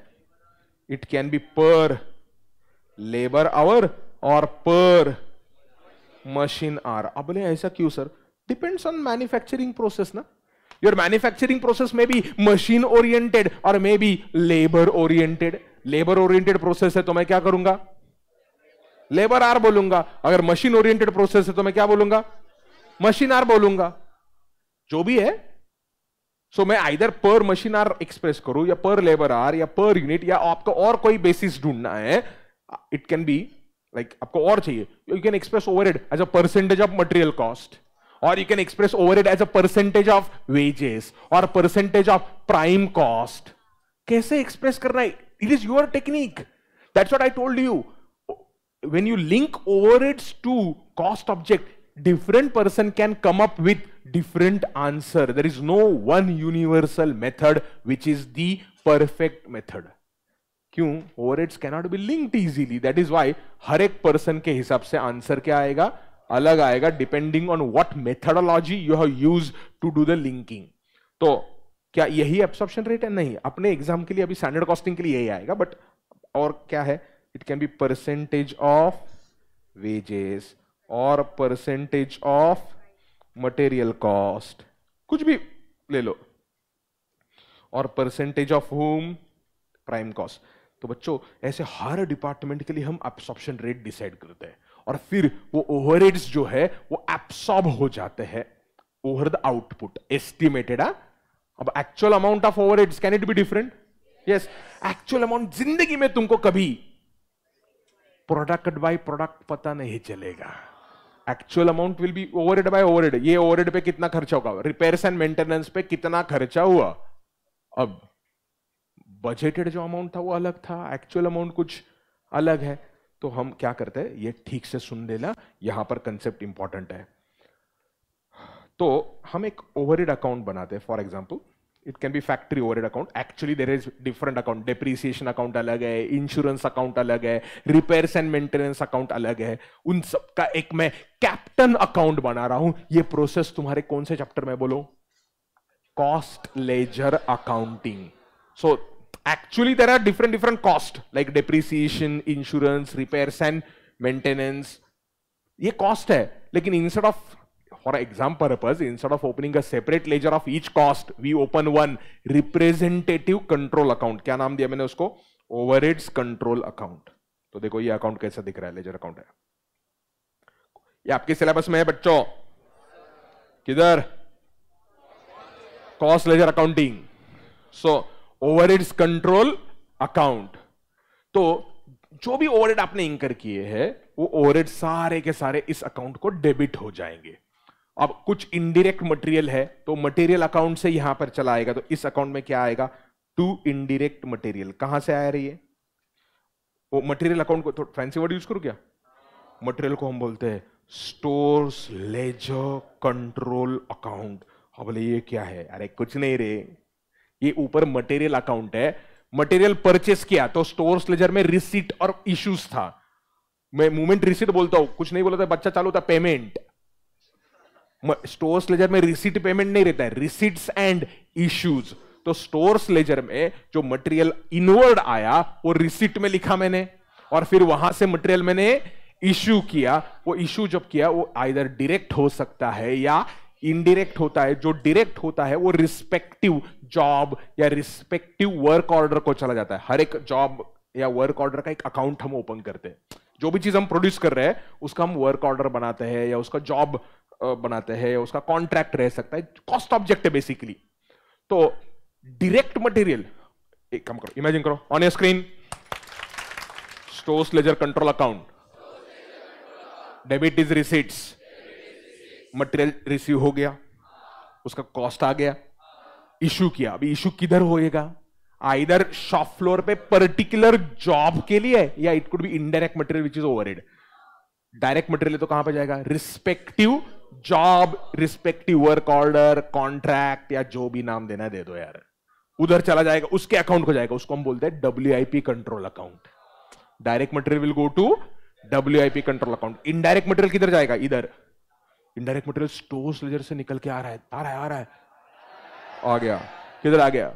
ओवरहेड अकाउंट में। ये एक्चुअल अमाउंट है ये क्या है बच्चों? Indirect material into bracket actual it is basically indirect material consumed और indirect material issued stores ledger से इशू हो गया और इधर आ गया। फिर वैसा ही क्या आएगा बच्चों? वेजेस आएगा। वेजेस या सैलरी भी बोल सकते हैं हाँ? अपना सिलेबस वेजेस बोलते हैं, इसलिए मैं सिलेबस के हिसाब से to wages control account so ये क्या है? आई एल इनडायरेक्ट लेबर ये भी कहाँ से आया बच्चों? एक्चुअल इनडायरेक्ट लेबर आ गया तुम्हारा। हाँ है ना? तो ओवरहेड्स में मैंने क्या लिखा था ऊपर? इनडायरेक्ट मटेरियल इनडायरेक्ट लेबर था ना? ये प्रोडक्शन ओवरहेड्स है। You can have separate let's say this is I am saying factory overhead control account you can have separate account for admin overhead selling and distribution overhead हर एक का अलग अलग account maintain करो ना। Floor याद आ रहा है क्या कुछ अब बाकी के खर्चे? ओवरहेड्स मतलब सिर्फ़ इनडायरेक्ट मटेरियल और इनडायरेक्ट लेबर क्या? नहीं depreciation is it a material is it a labour what is a depreciation expense कौन सा टाइप का एक्सपेंस है डेप्रिसिएशन इनडायरेक्ट क्योंकि normally you will not be able to link a depreciation देखो ये प्रोडक्ट का डेप्रिसिएशन ऐसा कैसे डिप्रिसिएशन किसका होता है प्रोडक्ट होता है मशीन का होता है मशीन बिल्डिंग या आपके जो इक्विपमेंट्स है उनका होगा और एक मशीन से क्या एक ही प्रोडक्ट बनता है क्या एक मशीन से पंद्रह प्रोडक्ट बन सकते हैं the machine is use for particular process that process might be common for ten products तो आई कैन आई से ये डिप्रिसिएशन ये प्रोडक्ट का? नहीं रे. कॉमन है ना? तो वो जो डेप्रिसिएशन का खर्चा है, वो मैं क्या करूँगा? इधर रिकॉर्ड करूँगा. रिपेयर्स मेंटेनेंस इधर रिकॉर्ड करूँगा. तो ये सारे एक्सपेंसेस के depreciation account debit to asset account फिर डेप्रीसिएशन भी ट्रांसफ़र टू ओवरहेड तो overhead account debit to depreciation या समथिंग या अगर आपको डेप्रीसिएशन वगैरह नहीं करना है, हम एक फैंसी वर्ड यूज़ करते हैं. जनरल लेजर एडजस्टमेंट अकाउंट क्यों? फिक्स असेट का अकाउंट इधर है क्या डेप्रीसिएशन अकाउंट मैं नहीं ओपन कर रहा हूँ। एंट्री क्या है डेप्रीसिएशन की? Depreciation to fix asset instead of passing depreciation to fix asset मैं बोल रहा हूँ overheads account debit to fix asset account but fix asset account हम यहाँ पर कॉस्टिंग में ज़रूरत ही नहीं। कॉस्टिंग में अपने को बैलेंस शीट बनाने गए गए हैं? तो हम पर्सनल अकाउंट या जो रियल अकाउंट्स होते हैं कॉस्टिंग में ओपन ही नहीं करते। उनके जगह पे उनका एक रिप्रेजेंटेटिव अकाउंट बनाते हैं, जिसको बोलते हैं जनरल लेजर एडजस्टमेंट अकाउंट वानरो, ये जो मैं एक्सप्लेन कर रहा हूँ, इसको क्या बोलते हैं? नॉन इंटीग्रेटेड सिस्टम क्या वर्ड यूज़ किया मैंने? नॉन इंटीग्रेटेड सिस्टम दो सिस्टम्स होते हैं कॉस्टिंग के कॉस्ट अकाउंटिंग के. कौन से दो system integrated and non integrated integrated system में आपके फाइनेंशियल रिकॉर्ड्स और आपके कॉस्ट रिकॉर्ड्स एक साथ, ऐसे इकट्ठा हो जाता है। उधर रिकंसिलेशन की ज़रूरत ही नहीं पड़ती इंटीग्रेटेड में। मैं क्या एक्सप्लेन कर रहा हूँ? नॉन इंटीग्रेटेड तो नॉन इंटीग्रेटेड में क्या होता है? फाइनेंशियल सिस्टम आपका अलग है कॉस्ट अकाउंटिंग सिस्टम अलग है तो आप इन दोनों का रिकंसिलिएशन भी करते हो। ये आपके सिलेबस में है, मैं कोई आपको ज्ञान नहीं बांट रहा हूँ। सिलेबस में कॉस्ट लेजर अकाउंटिंग करके एक चैप्टर था। तो यहाँ पर मैं लिखता हूँ टू लेजर अकाउंट और general ledger adjustment account name can be anything to cost ledger accounting ये क्या है? I e i e indirect expenses actual तो बेटा, ये डेबिट साइड पे क्या आया? ओवरहेड्स इंकर्ड कौन से? एक्चुअल तो क्या लिखा? देखो मैंने डेबिट साइड पे, सबको सर्कल करके indirect material plus indirect labour plus indirect expenses सारे put together actual overheads incurred समझ में आया क्या? ऑनलाइन पब्लिक घर पे सो रहा है क्या तुम लोग? नहा के बैठा है क्या तुम लोग घर पे? तुमको कैसे मालूम? तुमको उनको मैसेज किया कि हम नहाए नहीं नहाए इधर भी आधे गधे बिना नहाए आए नहाए नहीं तो मास्क वगैरह पहन के बैठ जाते हैं। सो ओवरहेड कंट्रोल अकाउंट तो ये overhead control account debit side पे हमने लिखा है। क्या लिखा मैंने डेबिट साइड पे? एक्चुअल ओवरहेड सिंकड तुमको अगर समझ में आया, मैंने कितने चैप्टर लिंक किए अब तक? ओवरहेड चैप्टर स्टैंडर्ड कॉस्टिंग चल रहा है और कॉस्ट लेजर अकाउंटिंग का लिंक कर रहा हूँ। You you have capability to understand yes तो डेबिट साइड पे मैंने क्या लिखा? एक्चुअल ओवरहेड्स इंकर्ड ठीक है? अब ये ओवरहेड को हम एक्चुअल इंकर हो गए। Absorption rate was it on actual basis no क्यों? मैंने पहले क्या लिखा था? Estimate the over absorption rate जो आया था, वो एस्टिमेट क्या आया था? एक्चुअल रेट अलग रहेगा। आपको पूरा प्रोसेस आपने रिपीट किया तो एक्चुअल रेट अलग आएगा, लेकिन we don't do that why difference वैसे भी मिलने वाला है अपने को। दो मिनट रुक। एब्सॉर्प्शन रेट कौन से बेसिस पे था? एस्टिमेट डेबिट साइड पे क्या है? एक्चुअल है. एब्सॉर्प्शन रेट से क्या समझ गया आया तुमको? एब्सॉर्प्शन रेट से क्या समझ में आया एब्सॉर्प्शन रेट बोलता है for example if one product goes into machine for three hours for each hour cost should be 90 rupees per hour. Let us assume absorption rate is what? Rupees 90 per hour. अभी important है, समझ लो, खतरनाक concept आ रहा है। 90 per hour is what absorption rate देखो, इससे मेरे को जाना है एब्सॉर्ब्ड ओवरहेड कान खोल के सुनना। क्या वर्ड यूज़ किया मैंने बच्चों? Absorbed overheads. एब्सॉर्प्शन रेट नहीं बोला एब्सॉर्ब ओवरहेड्स एब्सॉर्ब्ड ओवरहेड मतलब कितना खर्चा होना चाहिए? एब्सॉर्ब्ड ओवरहेड इज़ ता कितना खर्चा होना चाहिए for producing actual output this absorbed overhead is nothing but standard cost ये जिसके लिए मैं ये पूरा टाइम पास कर रहा था एक्सप्लेन कर रहा था। क्या बोला मैंने इसको? This is nothing but a standard cost कितना स्टैंडर्ड कॉस्ट का मतलब क्या है? कितना खर्चा होना चाहिए था वर्सेस कितना खर्चा हुआ है? उसको तो वेरिएंस बोलते हैं। तो वही तो अपना स्टैंडर्ड कॉस्टिंग का चैप्टर है।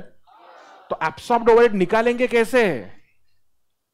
Absorbed overhead how do we find देखो एब्सॉर्प्शन रेट है। रेट पर यूनिट हो सकता है या रेट पर आवर हो सकता है। ऑब्ज़र्व करो एब्सॉर्ब्ड ओवरहेड अलग अलग तरीके से आएगा। Depending on what was your method of absorption rate see absorption का मेथड था ना मैंने आपको बोला ना यहाँ पर एब्सॉर्प्शन के अलग अलग मेथड्स है can you explain you can take it per unit और you can have it per hour per hour में भी अलग था वेजेस कुछ भी हो सकता है ना देखो absorbed overhead.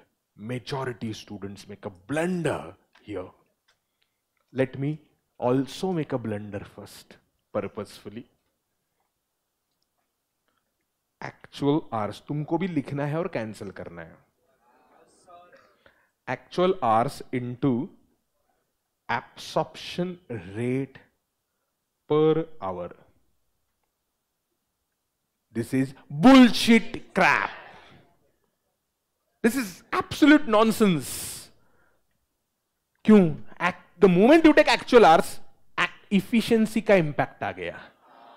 Your actual hours में बी मोर एक्चुअल आर्स में be less depending on efficiency मैंने आपको एक दो दिन पहले पढ़ाई का गाइडेंस दिया था इतने इतने आर्स लगने चाहिए इस चैप्टर को ये सब्जेक्ट को इतने आर्स लगने चाहिए वो हो गया स्टैंडर्ड अब एक्चुअल में तुमको उससे ज़्यादा लग सकता है एक्चुअल में तुमको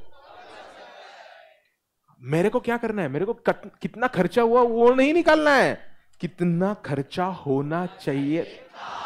तो you should not take actual hours because actual hours are affected by efficiency actual hours की जगह पे हम लेते हैं standard hours for producing actual output standard hours, hours that should have been taken for producing actual output. है ना? For producing actual output standard hours for producing actual output समझ गया? Into what rate obviously should take absorption rate per hour वाला। तुमने hours लिए और rate per unit वाला लिया। फिर मतलब तुम हम्म। So I must take absorption rate per hour ये क्या आया बच्चों? ये मल्टीप्लीकेशन करके क्या आएगा? एब्सॉर्ब्ड ओवरहेड कितना खर्चा होना चाहिए? हाँ लेकिन आपको यूनिट्स के बेसिस पे करना है। Okay hours can be machine hours hours can be labour hours वो तुमको क्वेश्चन देखना पड़ेगा। How they want to express hours can be labour hours can be machine hours तो अगर, लेकिन आउटपुट के बेसिस पे करना है तो आप क्या लोगे? Actual output not the standard output क्यों? एक्चुअल आउटपुट के लिए कितना? सी ये जो स्टैंडर्ड आवर्स है ना, ये आवर्स फॉर एक्चुअल आउटपुट ही है। और दूसरा भी मैंने क्या लिया? Actual output into absorption rate per unit इसी को ही मैं स्टैंडर्ड कॉस्ट बोलता हूँ। एब्सॉर्प्शन रेट को। जब हम स्टैंडर्ड कॉस्टिंग के चैप्टर में जाएँगे तो बोलेंगे standard rate of recovery standard rate it is nothing but absorption rate एक ही वर्ड है जिसको इधर, उधर उधर, इधर ऐसा घुमा रहे हैं और बच्चा का दिमाग ऐसा घूमता है। क्यों? अरे मालूम ही नहीं रहता बच्चे। मॉड्यूल में ना कहीं, मालूम है टीचर पढ़ता नहीं है। This is that is I am trying to link the two chapters तो आपका कंफ्यूजन बहुत निकल जाएगा दिमाग से। If you link and you must link over with standard costing क्योंकि स्टैंडर्ड कॉस्टिंग में सबसे मुश्किल वाला पार्ट कौन सा है? Overhead material labour relatively आसान है. ओवर तुम्हारी जान निकाल के लेता है. तो उसको अब दो चैप्टर लिंक करके देख, यही तो मैंने लिंकिंग किया. तो एब्सॉर्ब्ड ओवरहेड मैंने निकाले. रुको. So absorbed overheads is what standard hours into absorption rate per hour और actual output into absorption rate per unit. Are you crystal clear about this? Okay, come up. Overhead के debit side पे क्या लिखा मैंने actual overheads incurred अब जैसे जैसे production होते जाएगा वैसे वैसे हर प्रोडक्ट के लिए मैं ओवरहेड्स कितने एब्सॉर्ब्ड ओवरहेड कैलकुलेट करेगा hey tell me is absorbed overhead equal to actual overhead no actual product by product या जॉब बाय जॉब मुझे कभी मालूम ही रहता है I repeat, actual overheads are on total basis. Absorbed overhead are on job by job basis or work order by work order. Hayana. Headline liko. Actual overheads are actual overheads are on total basis. Actual overheads are on total basis. Whereas absorbed overheads are absorbed overheads are job by job absorbed overheads are job by job are you clear? Job by job. देखो, ये है मेरा factory overhead अब जैसे ही मेरा production हो जाएगा तो उस जॉब के लिए कितना खर्चा होना चाहिए था मैंने निकाल लिया? उस जॉब को जाके मैं डेबिट करूँगा. जॉब मतलब instead of respective job in syllabus we open one account called as W control account क्या बनाते हैं हम? डब्ल्यू कंट्रोल तो ओवर यहाँ से चले जाएँगे. Control account magic is gonna happen now by W I P control account तो बेटा, ये क्या है? Is it actual overhead? No. What is this? ये क्या है? ये एब्सॉर्ब्ड ओवरहेड्स है. डेबिट साइड पे क्या था? एक्चुअल ओवरहेड्स क्रेडिट साइड पे एब्सॉर्ब्ड ओवरहेड दोनों का difference will be either under absorption और ओवर एब्सॉर्प्शन ओवर एब्सॉर्प्शन कब बोलेंगे? जब absorbed overheads are greater than actual overheads मैं बोलूँगा ओवर एब्सॉर्प्शन जब एब्सॉर्ब्ड ओवर एक्चुअल से कम है तो मैं बोलूँगा यही अंडर और ओवर एब्सॉर्प्शन जो है, उसको ही हम बोलते हैं variance on your screen under absorption oblique over absorption oblique variance under oblique UA oblique OA under absorption UA over absorption OA variance under absorption का मतलब क्या है? Actual overheads are lesser than overhead नहीं absorbed overheads are उल्टा. Under absorption absorption less है. Under absorption means absorbed overheads are lesser than actual actual तुमने खर्चा किया पचास लाख का। लेकिन कॉस्ट में एब्सॉर्ब हुआ चालीस लाख ही। एडवर्स है क्यों एडवर्स है तुमने खर्चा कितने का किया? पचास लाख। एब्सॉर्ब कितना हुआ? चालीस लाख। डब्ल्यू में चालीस लाख ही चला गया। Under absorption is nothing but adverse variance देखो अंडर एब्सॉर्प्शन देखो, सिर्फ़ क्या है, भाषा बदल रही है, बस। Under absorption is nothing but what under absorption is same as adverse variance क्यों एडवर्स बोला मैंने? एडवर्स क्यों बोला? क्योंकि खर्चा हुआ पचास, लेकिन एब्सॉर्ब हुआ चालीस। उसी को ही हम बोलते हैं डेबिट बैलेंस आप बोलेंगे, कहाँ से है डेबिट बैलेंस? अभी तुमको उतना अकाउंटिंग का नॉलेज होना चाहिए। मैंने खर्चा कितना किया? पचास लाख। डेबिट पे कितना आया? पचास लाख। एब्सॉर्ब कितना हुआ? चालीस लाख। चालीस लाख किधर है? क्रेडिट पे। तो डेबिट बैलेंस दस लाख का है ना? तो इसके अपोजिट क्या हुआ? ओवर एब्सॉर्प्शन तो ओवर एब्सॉर्प्शन को क्या बोलेगा मैं? फेवरेबल वेरिएंस ये बैकग्राउंड तुमको अगर क्लियर है तो ओवरहेड का चैप्टर मतलब ओवरहेड वेरिएंस और ये सब कुछ बहुत आसान जाने वाला है। अब, हमारा सिलेबस है, जिसमें अंडर या ओवर एब्सॉर्प्शन आ गया ओवरहेड चैप्टर में, उसका एनालिसिस हम अलग तरीके से करते हैं। ओवरहेड चैप्टर में एनालिसिस अलग तरीके से करेंगे स्टैंडर्ड कॉस्टिंग में एनालिसिस अलग तरीके से करेंगे। क्यों? अलग।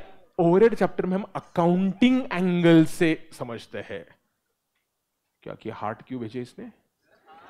वाटर लिंकिंग अच्छा ठीक है, मेरे को लगा माँ का लाडला प्यार मतलब वो था ना, वैसे घटिया हो गया होगा। नहीं थैंक यू थैंक यू तुमने पहली बार ज़िंदगी में सुना होगा लिंकिंग ऐसे हम हर बार करते रहते। आज मैं सिर्फ़ कॉस्टिंग का लिंकिंग कर रहा हूँ। सो जेन्युइन कंसेप्ट जब सुनने जाओगे ना तो ऐसे ही पागल हो जाओगे। Over absorption is nothing but what favourable variance favourable variance is nothing but credit balance ये चीज़ें समझी है क्या तुमको? हाइलाइटर लो। उस, ये स्टिकीज किधर गया? स्टिकीज मिलता है ना इससे? नहीं, ये फ़ोटो आ गया। हाँ। तो इसको हाँ कलरफुल चाहिए ना तुम लोगों को?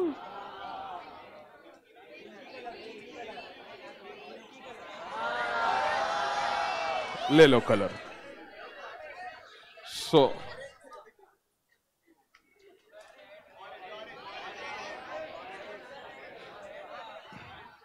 अरे रुक रे तेरे को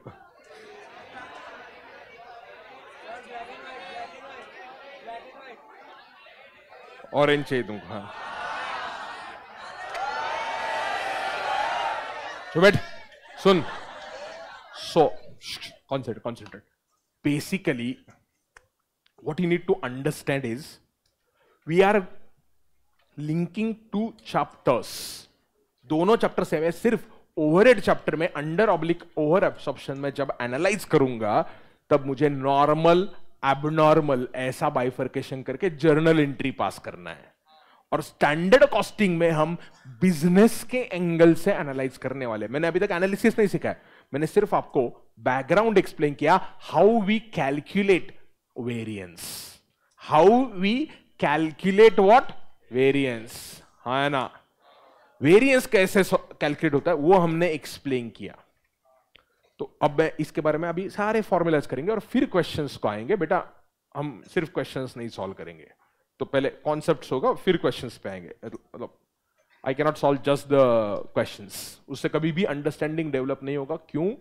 बेटा, तुम्हारे एग्ज़ाम में एमसीक्यू आने वाला है। बहुत सारा लोग है ना, सिर्फ़ क्वेश्चन क्वेश्चन सॉल्व करते हैं। एमसीक्यू में क्या टाइप का ट्विस्टिंग होगा, क्या टाइप का क्वेश्चन आएगा, ये मुझे मालूम नहीं है। ना मुझे मालूम पड़ेगा, क्योंकि आईसीआई पेपर रिलीज़ नहीं करने वाला एमसीक्यू का। वो पेपर वापस लेते हैं। तो एमसीक्यू का जो क्वेश्चन आएगा, वो नए क्वेश्चन आएँगे हर बार। जब भी कभी एग्ज़ाम दोगे तो you have to train your brain in such a way that whatever way examiner ask question you should be in position to solve और उसके लिए कॉन्सेप्चुअल अंडरस्टैंडिंग मस्ट है।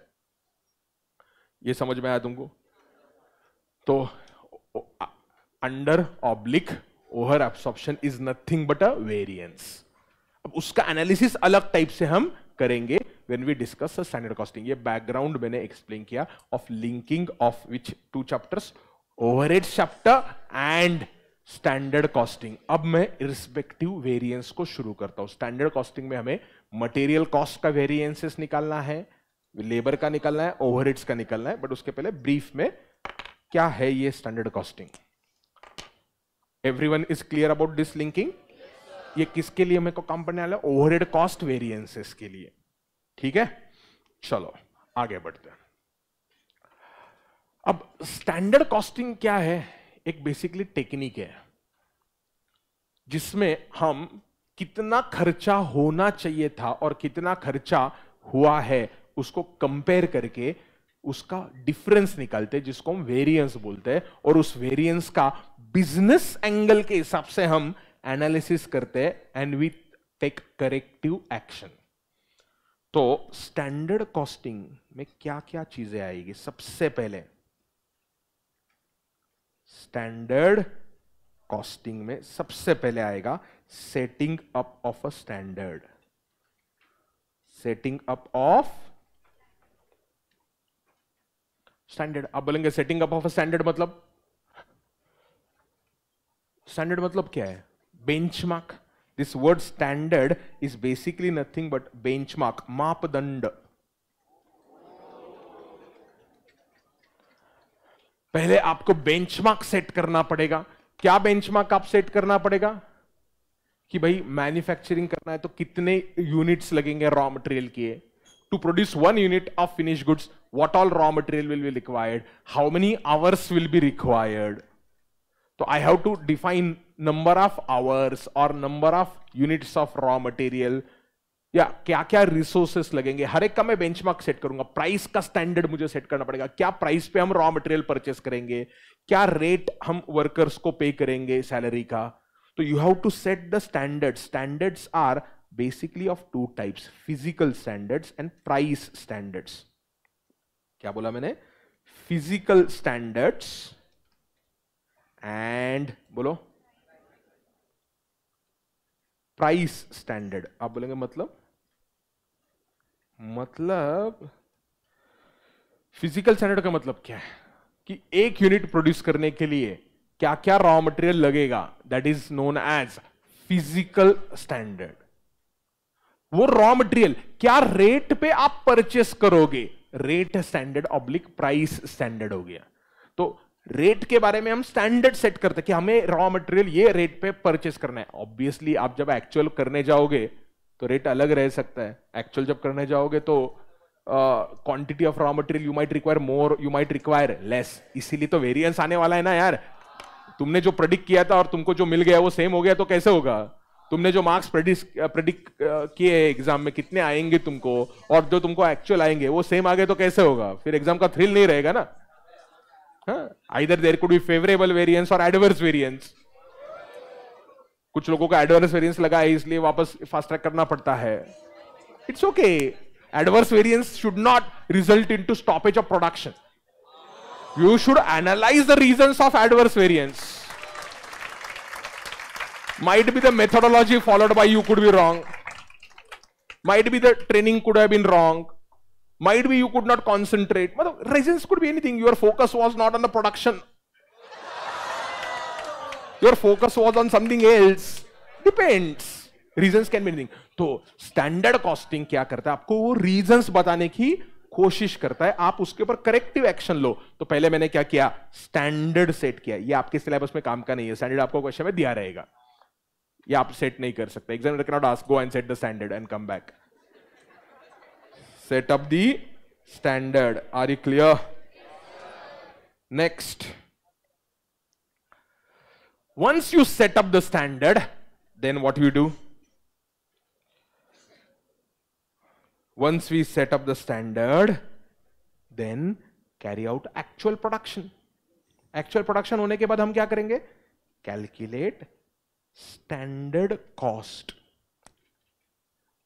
standard cost is always always for actual output Standard cost is never ever for budgeted output standard cost is never ever for what budgeted output है ना calculate standard cost for actual output put put right है ना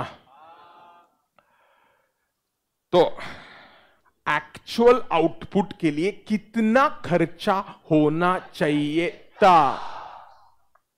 ठीक है। एक बार आपने क्या किया?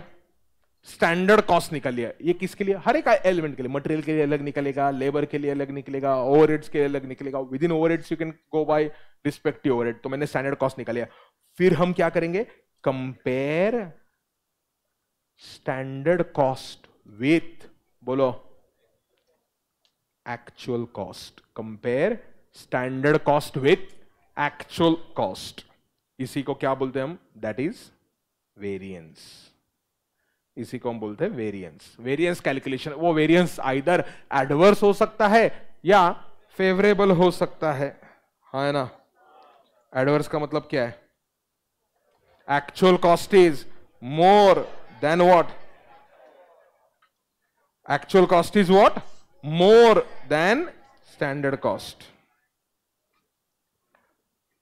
Did you understand that? और बोलो। फेवरेबल का मतलब क्या है?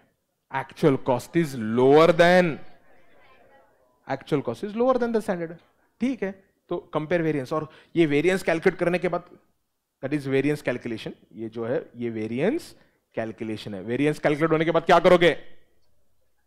बोलो। Take corrective action take corrective action आपको करना सिर्फ़ point number two and point number three है। क्यों? उतना ही है ना आपके सिलेबस कैलकुलेट करो स्टैंडर्ड कॉस्ट को। Compare that standard cost with what actual cost are you clear thank you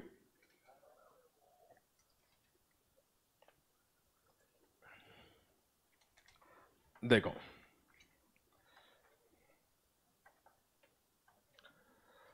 take a corrective action अभी हम अलग अलग वराइंसिस लर्न करेंगे। पहले हेडिंग दे दो। Material cost variance material cost variance अब ये बैकग्राउंड अगर आपको क्लियर है ना तो सारे के सारे वराइंसिस बहुत आसान जाने वाले हैं। And then problem solving also will solve all exam questions आज क्वेश्चन नहीं आएगा, आज मेरे को सारे कॉन्सेप्ट ओवर सारे कॉन्सेप्ट कवर अप करने मटेरियल कॉस्ट वेरिएंस सुन लो अभी। हर कोई वेरिएंस जो है, उसका फॉर्मूला क्या है? एक ही है। क्या फॉर्मूला है बोलो? Standard cost minus actual cost तो लिखिए M C V is equal to M C V is equal to बोलो। Standard material cost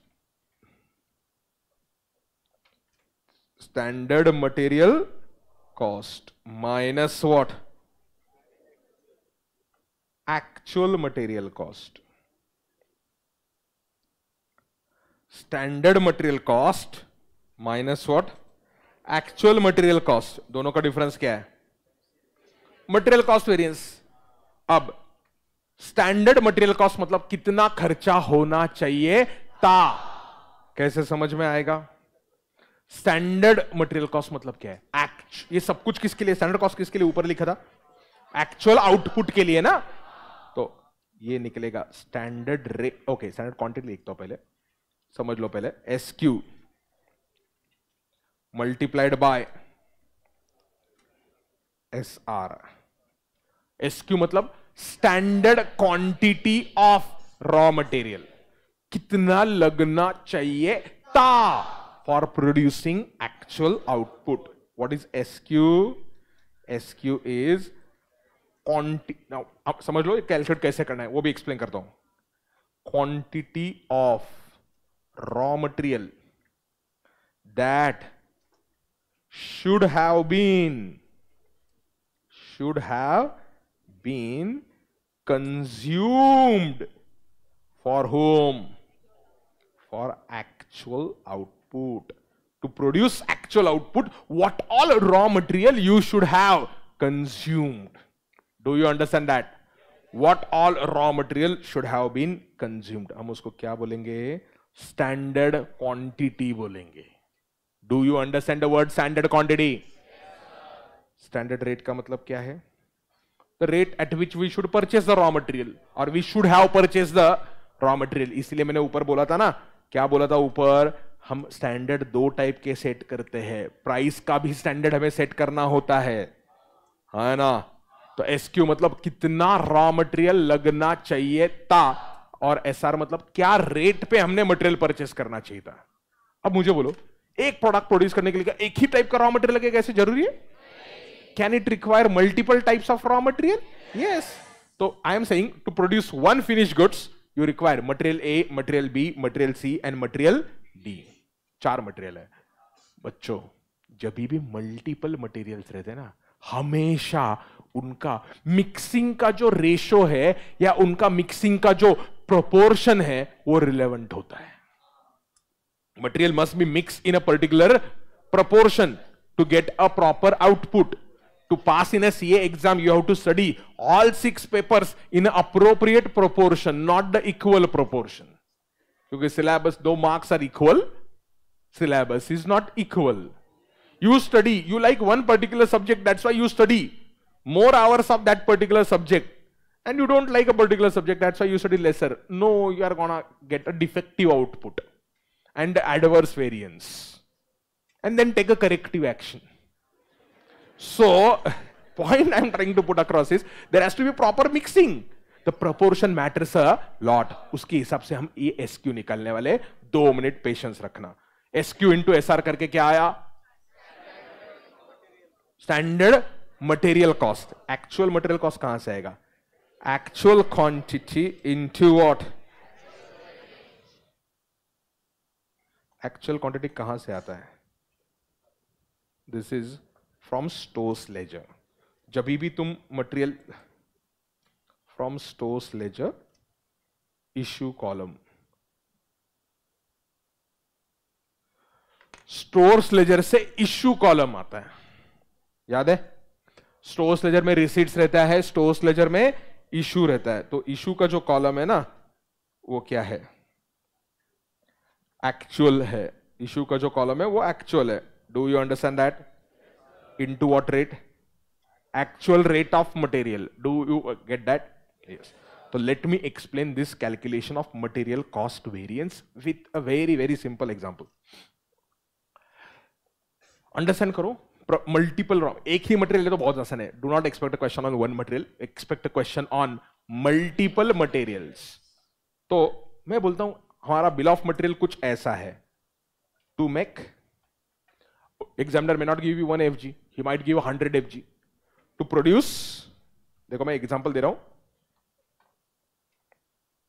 To produce 5000 kg of Fg. 5000 kg of what? Fg. We need material A, material B, C, D. A, B, C, D. How much? अब मैंने one K जी देने के लिए five thousand दे दिया problem तुमको fifteen hundred seven hundred two thousand and 1900 total कितना है total six one zero zero हाँ बोलेगा, सर, क्या मिस्टेक कर रहे हैं, सर?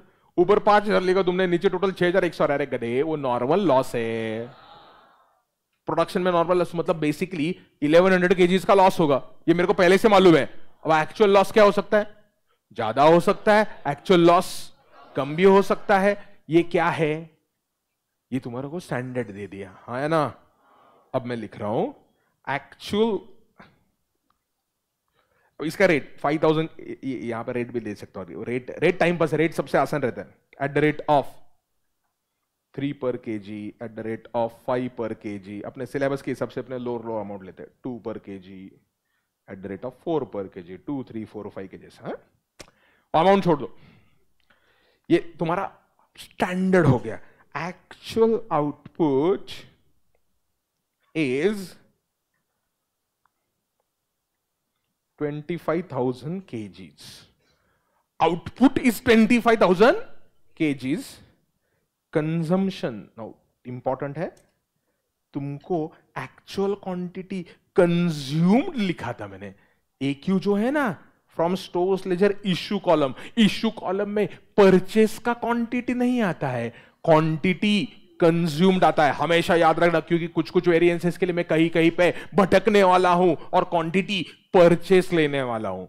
अभी मैंने कौन सा क्वांटिटी लिया? ये ए क्यू कौन सा है? आई क्यू है तो आपको समझेगा, ये है A Q consumed quantity consumed अलग है, क्योंकि आगे एक वेरिएंस है जो परचेस के हिसाब से आने वाला है.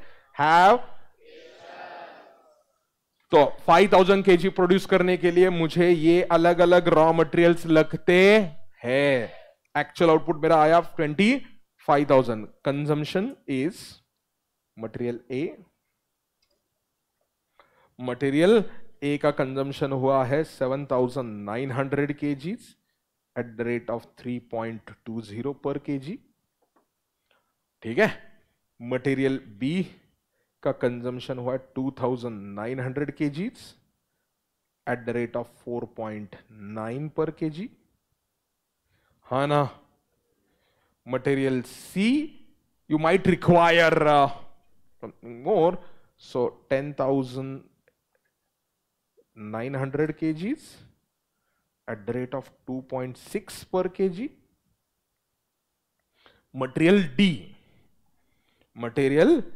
D you required 9800 kgs at the rate of 3.95 बस, मैंने आपको ये दे दिया। And I want to analyse everything अब मैं सारे बहुत सारी चीज़ें मैं इंट्रोड्यूस करने वाला हूँ इसके साथ। तुमको एक बार मटेरियल क्लियर हो गया? लेबर का काम बहुत आसान है तुम्हारे लिए।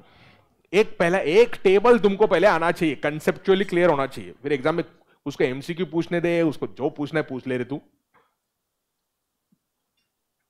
अब टोटल ले लो एक्चुअल का। Thirty one thousand five hundred ठीक है? बेसिक अगर तुमने दिमाग लगाया तो एक्चुअल और स्टैंडर्ड में फ़र्क है। होना ही चाहिए। होना ही चाहिए ना। सारे वराइंसेस आपको एक साथ निकले please do not remember any formula at all कुछ भी याद रखने का ज़रूरत नहीं आपको। और ये क्या सर, हमने तो रट लिया होगा अब तक। मैंने तो कभी रटाया नहीं तुमको। So concentrate to produce five thousand kgs के लिए इतना रॉ मटेरियल लगता है। सुन लो अभी।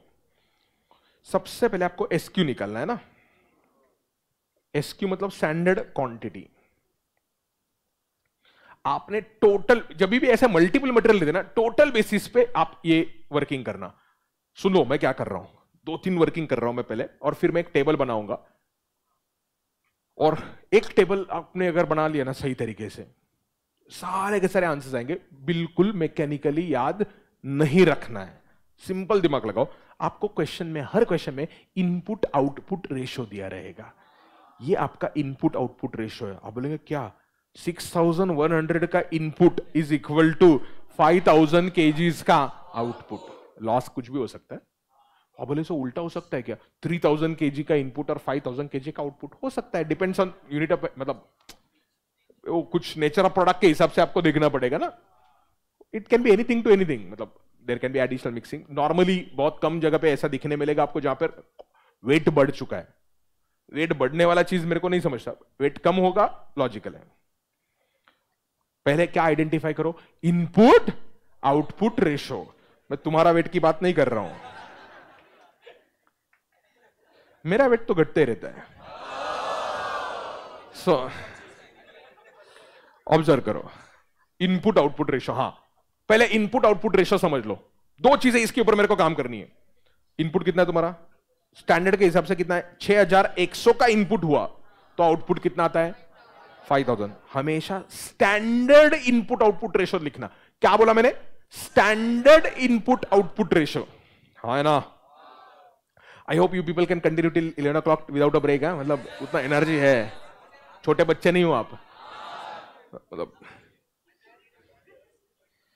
हाँ मतलब जो वही तो तुम्हारा स्टैमिना बिल्ड होगा, वही तो तुम डेवलप कर पाओगे ना। स्टैंडर्ड है 6100 का इनपुट तो आउटपुट कितना बोला मैंने? 5000 हाँ है ना। ये स्टैंडर्ड हो गया। अब एक्चुअल में तुमने क्या किया? एक्चुअल में तुमने इनपुट किया इकतीस हज़ार पाँच सौ। अब देखो मैं क्या लिखता हूँ। एक्चुअल इनपुट लिखता हूँ मैं और आउटपुट को मैं क्वेश्चन करता हूँ। इनपुट पहले आपको रेशो निकालना पड़ेगा। स्टैंडर्ड रेशो अब वो रेशो है ना। एक्चुअल इनपुट के लिए कितना आउटपुट आना चाहिए? ता। निकालो। Twenty? Twenty five thousand eight hundred and twenty point exact twenty five thousand eight hundred and twenty. Round off करके, थोड़ा डिफरेंस आने वाला है लेट इट बी हाँ? एग्ज़ाम में बराबर वो मैच करके देते this is not the standard quantity this is not the standard quantity ये जो स्टैंडर्ड क्वांटिटी हमको चाहिए ना इधर, ये चाहिए standard quantity of raw material फिर आप बोले, ऐसा क्यों सिखाया तुमने? इसीलिए मेरे को गलत सिखाना था। अब यही चीज़ है, मैं डायरेक्ट क्वेश्चनिंग पे गया ना, कभी दिमाग में नहीं बैठेगी। इनपुट आउटपुट ये अपने को चाहने, लगने वाला है आगे जाके। इसको हम बोलते हैं स्टैंडर्ड ईल्ड याददाश्त कुछ आ रही है क्या? स्टैंडर्ड ईल्ड ईल्ड मतलब आउटपुट रे। स्टैंडर्ड ईल्ड कितना आउटपुट आना चाहिए था? ये कितना इनपुट लगना चाहिए था नहीं है। इकतीस हज़ार के साथ कितना आउटपुट आना चाहिए? ठीक है। ये लगने वाला है आगे जाके। अभी काम का। ठीक है। नेक्स्ट आगे। दूसरा। वापस लिखूँगा मैं। इनपुट आउटपुट छ हज़ार एक सौ पाँच हज़ार का आउटपुट। अब मैं आउटपुट में एक्चुअल आउटपुट लिखता हूँ। एक्चुअल आउटपुट है मेरा ट्वेंटी फाइव थाउज़ेंड अरे। हम्म, और मैं इनपुट को क्वेश्चन करता हूँ। इसको बोलते हैं standard quantity of raw material बोलो। Thirty thousand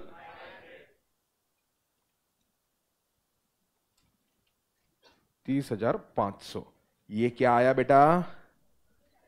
Standard quantity of home raw material obviously this should be divided in the same mixing proportion proportion जो भी था, उनका स्टैंडर्ड का प्रोपोर्शन है यार, मैंने प्रोपोर्शन भी बहुत गंदा लिया। 15 is to seven is to twenty is to nineteen ये प्रोपोर्शन ठीक है ना? क्या रोते हो? 15 is to seven is to twenty is to nineteen was proportion इस प्रोपोर्शन में तीस हज़ार पाँच सौ मिक्स होना चाहिए। समझ में आएगा तुमको? क्या वर्ड समझा है मैंने तुमको? S Q N S Y R Hindustan Pakistan दोनों में कॉमन चीज़ क्या था? Input output ratio standard input output ratio आपको देखना था और वहाँ से एक्चुअल आउटपुट के लिए कितना इनपुट उसको बोलते हैं स्टैंडर्ड क्वांटिटी और एक्चुअल इनपुट के लिए कितना आउटपुट उसको बोलते हैं standard yield headline online headline लेख headline means top of the page standard yield and standard quantity standard yield and standard quantity are Hindustan pakistan.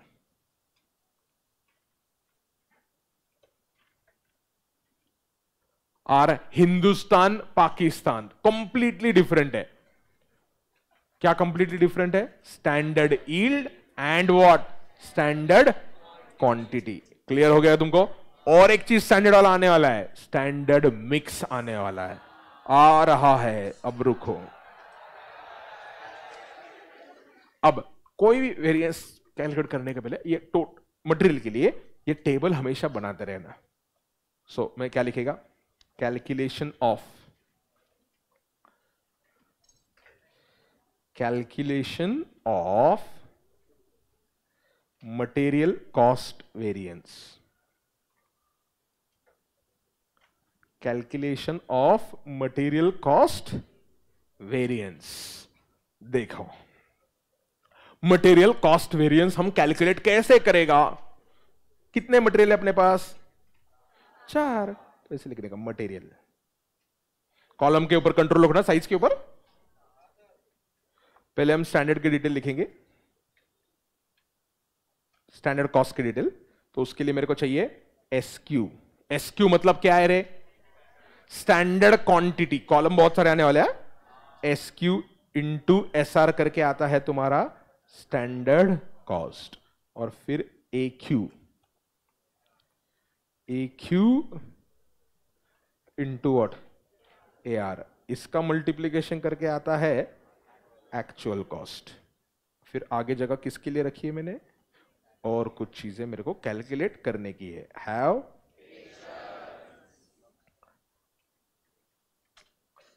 ठीक है। ये सबको क्लियर है? S Q A B C D अब क्या करेगा? S Q मेरे पास टोटल बेसिस पे एस क्यू अवेलेबल है। ऑनलाइन मर गया क्या रे? रिस्पॉन्स नहीं आ रहा तुम्हारा चैट बॉक्स में? वो चैट गया होगा। लैग ये चालू है क्या? लैग है क्या? चालू है ना? So thirty thousand five hundred what is thirty thousand five hundred total standard quantity of raw material total standard quantity of raw material is how much thirty thousand five hundred. आप इसको क्या करोगे? Standard mixing proportion में हम distribute कर लेंगे। क्या proportion है वो? 15 is to seven is to twenty is to nineteen वो तुम तुम्हारा कर लेना। उसका टोटल कितना है? टोटल 61 है। तो क्या करेगा तुम?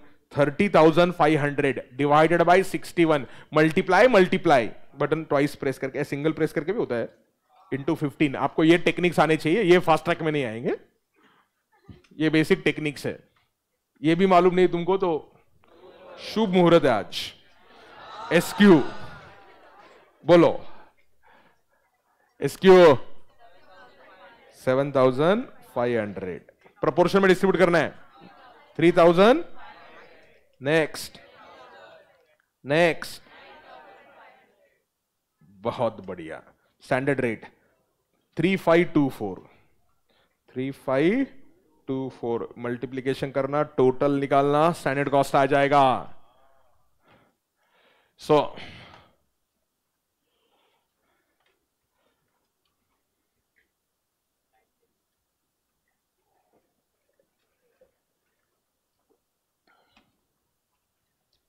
calculate 98,000 98,000 is equal to standard cost इतना खर्चा आना चाहिए। एक्चुअल क्वांटिटी वो तो दिया रहता है। बोलो कौन सा क्वांटिटी लेके? परचेस है कंज्यूम कंज्यूम बोलो ऊपर। Seven thousand nine hundred. Two thousand. Next ten thousand nine hundred. Next nine thousand. सबका टोटल बोल। Thirty one. Five hundred actual quantity हाँ है ना रेट यार, मैंने फालतू के रेट अलग अलग दे three point two four point nine two point six three point nine multiplication करना और टोटल लिखते मत बैठना। मेमोरी प्लस करो। कर रहे होगे तुम बिना बोले, मालूम मेरे को। है बहुत कमी ने चले फास्ट करना। वो लियोनार्डो दा विंसी एक हाथ से दो हाथ से पेंटिंग करता था। तू एक हाथ से कैलकुलेटर, एक हाथ से लिखता नहीं सकता? वो दो हाथ से पेंटिंग करता था कोई तो एक पेंटर था ना? लियोनार्डो दा विंसी था ना पिकासो था ओके एक हाथ से लिखना चाहिए, एक हाथ से कैलकुलेटर चलना चाहिए। One lakh five four zero क्या है एक्चुअल कॉस्ट कम है या ज़्यादा है? ज़्यादा है। एक्चुअल कॉस्ट किससे ज़्यादा है? Actual cost is more than standard cost तो मतलब वेरिएंस क्या है? एडवर्स वेरिएंस इज़ तो इसको क्या बोलेंगे? M C V material cost ये जो पहला मैंने सिखाया फिर हम उसके बच्चे पता करेंगे। Material cost variance is standard cost S Q into S R है अपने पास। Minus actual cost A Q into A R so MCV is equal to standard cost minus what actual cost is equal to बोलो standard cost कितना है मेरा ninety eight thousand minus actual cost कितना है? One lakh six thousand five hundred and forty so, that's equal to 8540 into bracket adverse. 8540 we incurred extra. That is why adverse. But the questioning is, why extra? तो why did we spend extra amount? ठीक है? तो उसका analysis करेंगे अभी। तो लिखो analysis of material cost variance obviously exam में फुल फॉर्म यूज़ करेगा तुम। एमसीवी अब दो रीजन होते हैं जिसकी वजह से हम एक्स्ट्रा स्पेंड करते हैं। Either rates could have gone up that is prices could have gone up और we might have use more quantity अब कुछ भी हो सकता है। Quantity we might have consume more मतलब हमारा लॉस ज़्यादा हो गया होगा as compare to what we had anticipated कुछ भी हो सकता है ना? चलो अभी हम एनालिसिस चालू करते हैं। Serial number particulars rupees inner rupees outer wonderful चलो बेटा, शुरू करते हैं। Serial number one material price variance material price variance price is basically what a difference in rates price variance के लिए कौन रिस्पॉन्सिबल रहता है? तुम्हारा परचेस डिपार्टमेंट तो परचेस डिपार्टमेंट को बोलेंगे, बेटा, तेरे को बोला था ये रेट में खरीदने का। तू ज़्यादा रेट पे क्यों खरीदेगा? फिर वो एक्सप्लेनेशन देगा। वो बोलेगा, सर, वो जो ईरान के कुछ हुतीज है, वो रेड सी में अटैक कर रहे थे। इसलिए हमें कहीं और से खरीदना पड़ा या हमें कोई दूर का रूट लेना पड़ा। उसकी वजह से हमारा ट्रांसपोर्टेशन कॉस्ट बढ़ गया और उसकी वजह से रेट जो था, वो ज़्यादा निकल के आया। या हम बोल सकते सर वो मार्केट में इतना ज़्यादा मटेरियल आ गया था तो सस्ते में मिल गया हमको। You could end up buying at a higher rate और you could end up buying at lower rate depends on case to case है ना? तो प्राइस वेरिएंस का मतलब बेसिकली क्या है? प्राइस वेरिएंस का बेसिकली डिफरेंस है स्टैंडर्ड रेट और एक्चुअल रेट का डिफरेंस क्या बोला मैंने? Standard rate the rate at which we should have purchased minus what actual rate it's basically a difference of rate कौन रिस्पॉन्सिबल है इसके लिए? Purchase department what is the responsibility of purchase department? To procure everything at standard rate. Purchase department का responsibility क्या है? To procure everything at standard rate हाँ है ना? एवरीथिंग मतलब जितना भी मटेरियल डिमांड किया. किसने डिमांड किया? प्रोडक्शन डिपार्टमेंट है तो multiply by actual quantity purchase department नहीं बोल सकता, तुम ज़्यादा क्यों डिमांड कर रहे हो? Can they say like that no they can not say like that तो जितना भी डिमांड किया, वो सारा का सारा चीज़ उन्होंने स्टैंडर्ड रेट पे प्रोक्योर करना चाहिए। अगर ज़्यादा लग गया तो एडवर्स कम लग गया तो फेवरेबल तो हम क्या करेगा? A B C D is equal to is equal to is equal to is equal to bracket bracket bracket bracket standard rate ऊपर से कॉपी करो minus minus minus minus actual rate copy करो bracket bracket bracket bracket actual quantity copy करो. अगर actual rate ज़्यादा है तो हम उसको एडवर्स बोलेगा. एक्चुअल रेट कम है तो हम उसको फेवरेबल बोलेगा. रेट कंपेयर करना है. It is a difference of rate MPV तो तीन, पाँच, दो, चार. Three point two four point nine two point six three point ninety five very good एक क्वेश्चन समझ गए सबके सारे सारे आ गए मैं इसमें सब कुछ इंक्लूड किया मैंने। क्वांटिटी लिखो। ये आएगा तुम्हारा एडवर्स पहला। दूसरा आएगा F favourable that is adverse favourable outer कुछ तो आएगा तुम्हारा। चेक करो। सो कंप्लीट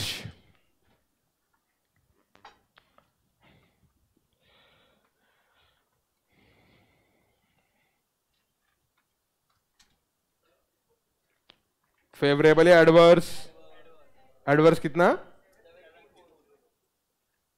अब बोलो मुझे, आप जब खुद पढ़ने बैठोगे कि आराम से खत्म हो जाएगा ना चैप्टर तुमको तुमको डर जो लग रहा है ना खत्म कर पाओगे। आराम से खत्म कर पाओगे यार। दूसरा वेरिएंस ये होगा तुम्हारा price variance rate can be either more और रेट कैन बी लेस ये रेट का हो गया. अब क्या करेंगे हम? Material usage variance usage variance बोलते हैं कुछ लोग कुछ लोग उसको क्वांटिटी वेरिएंस बोलते हैं. कुछ भी बोलो.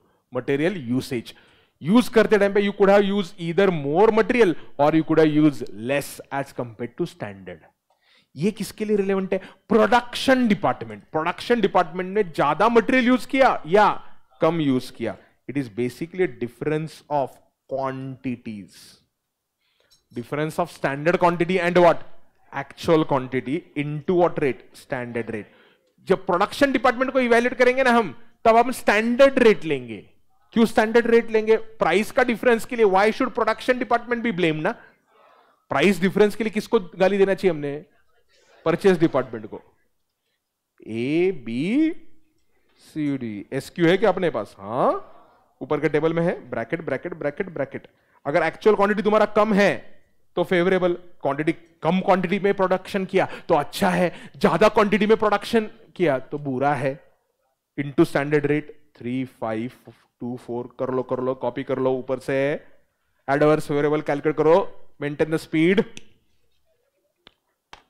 do it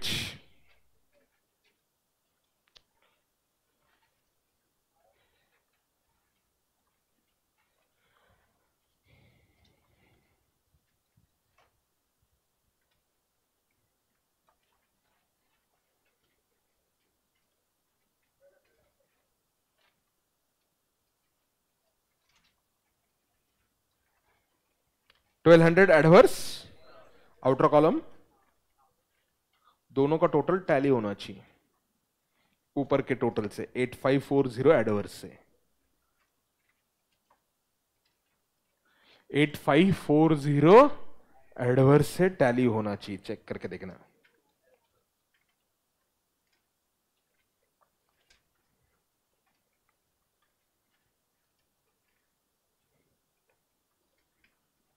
It should tally easily.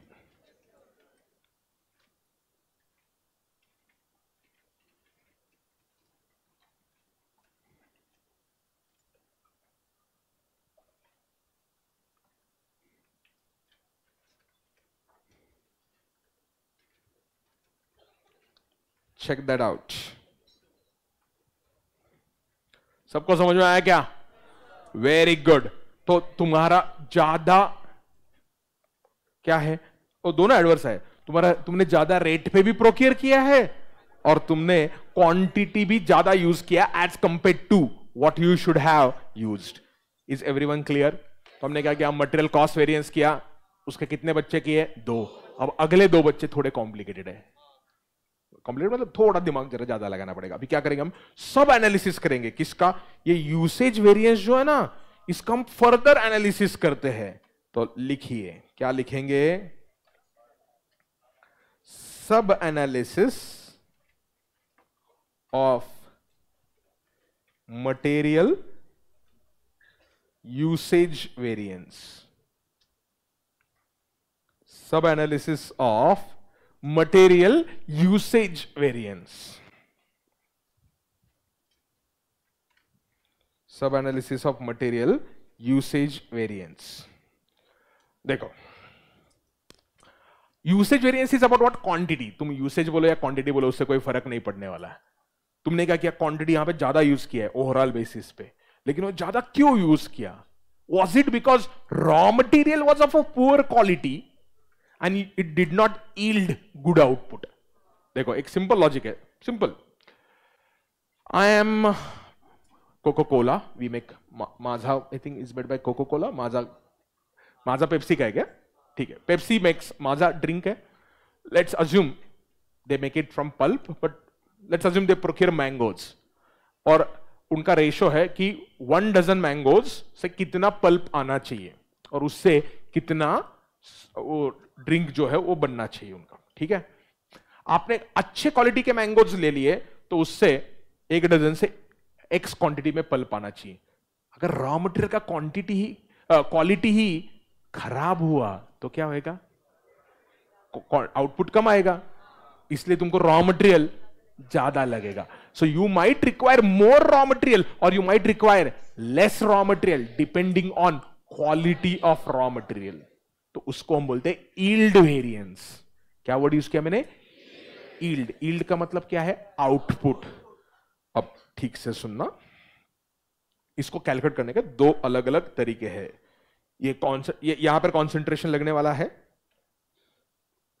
Serial number particulars rupees rupees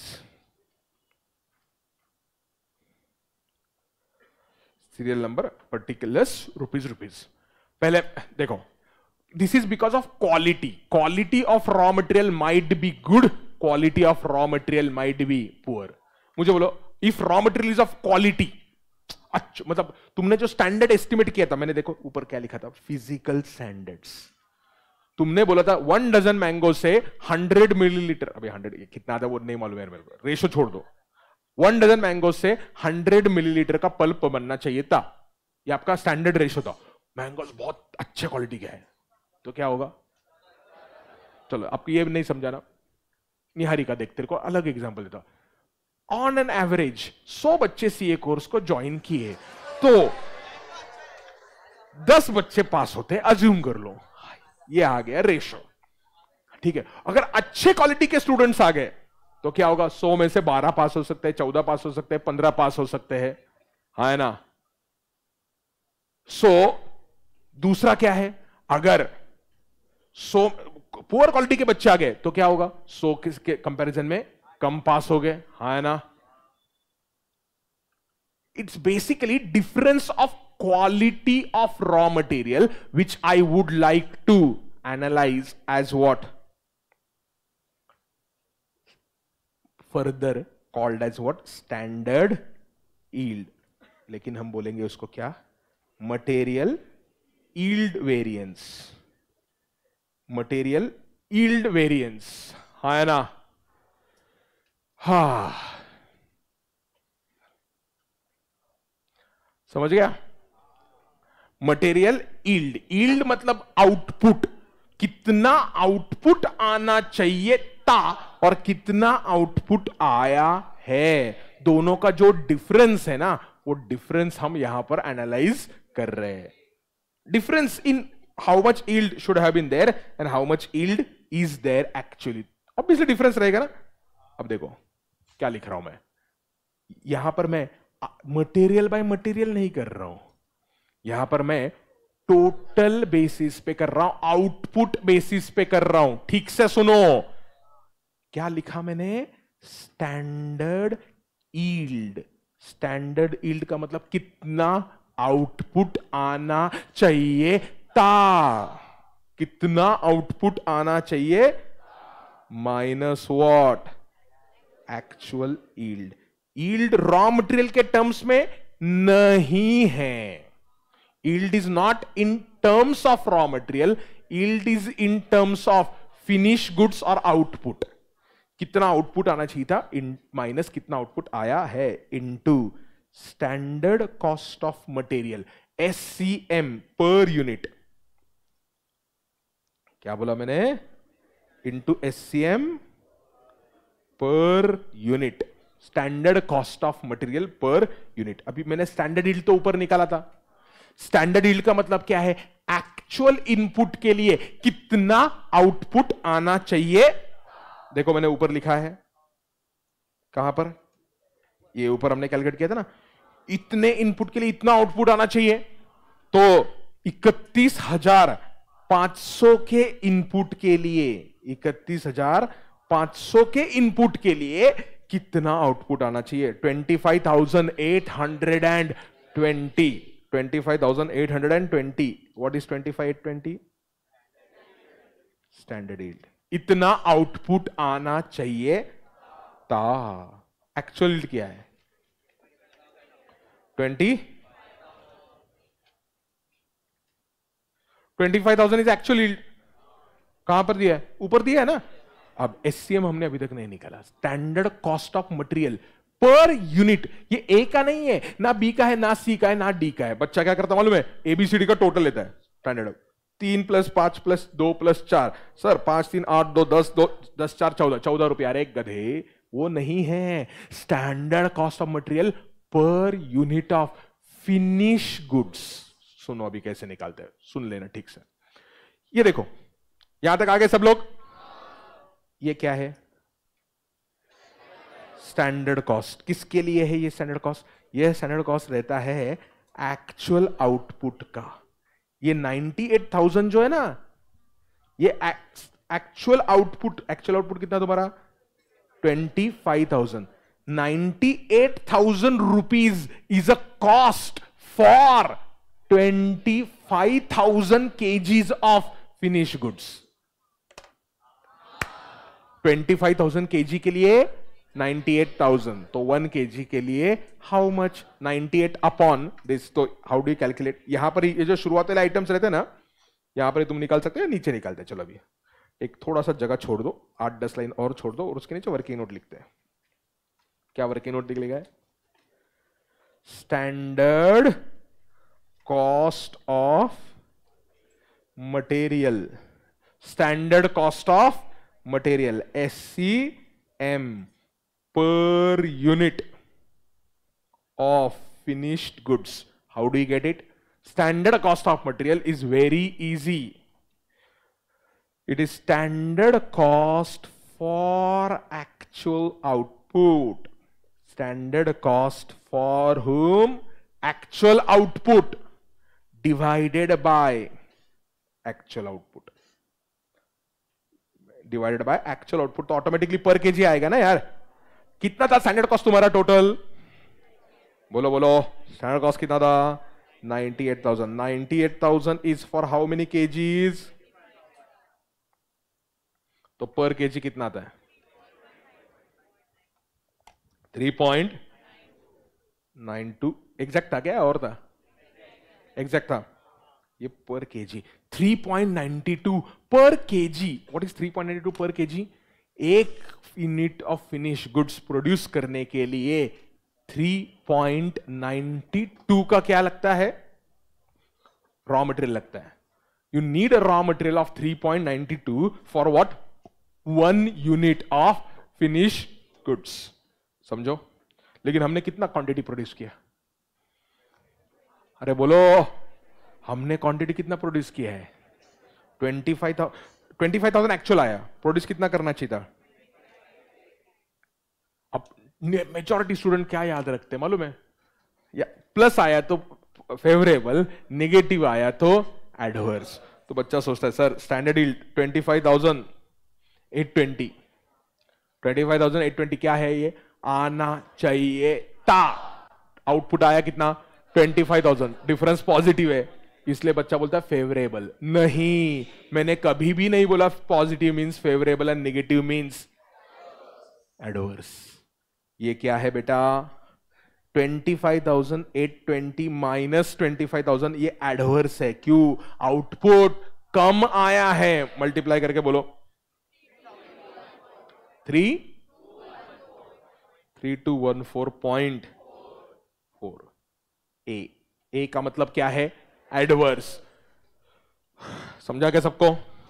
adverse क्यों आया? क्योंकि quality of raw material poor रह सकता है, या बाकी कुछ भी रीजन हो। रीजन को इंट्रोस्पेक्ट करना फर्दर स्टेप होता है, वो आपके सिलेबस में करेक्टिव एक्शन बच्चा फेल क्यों हुआ?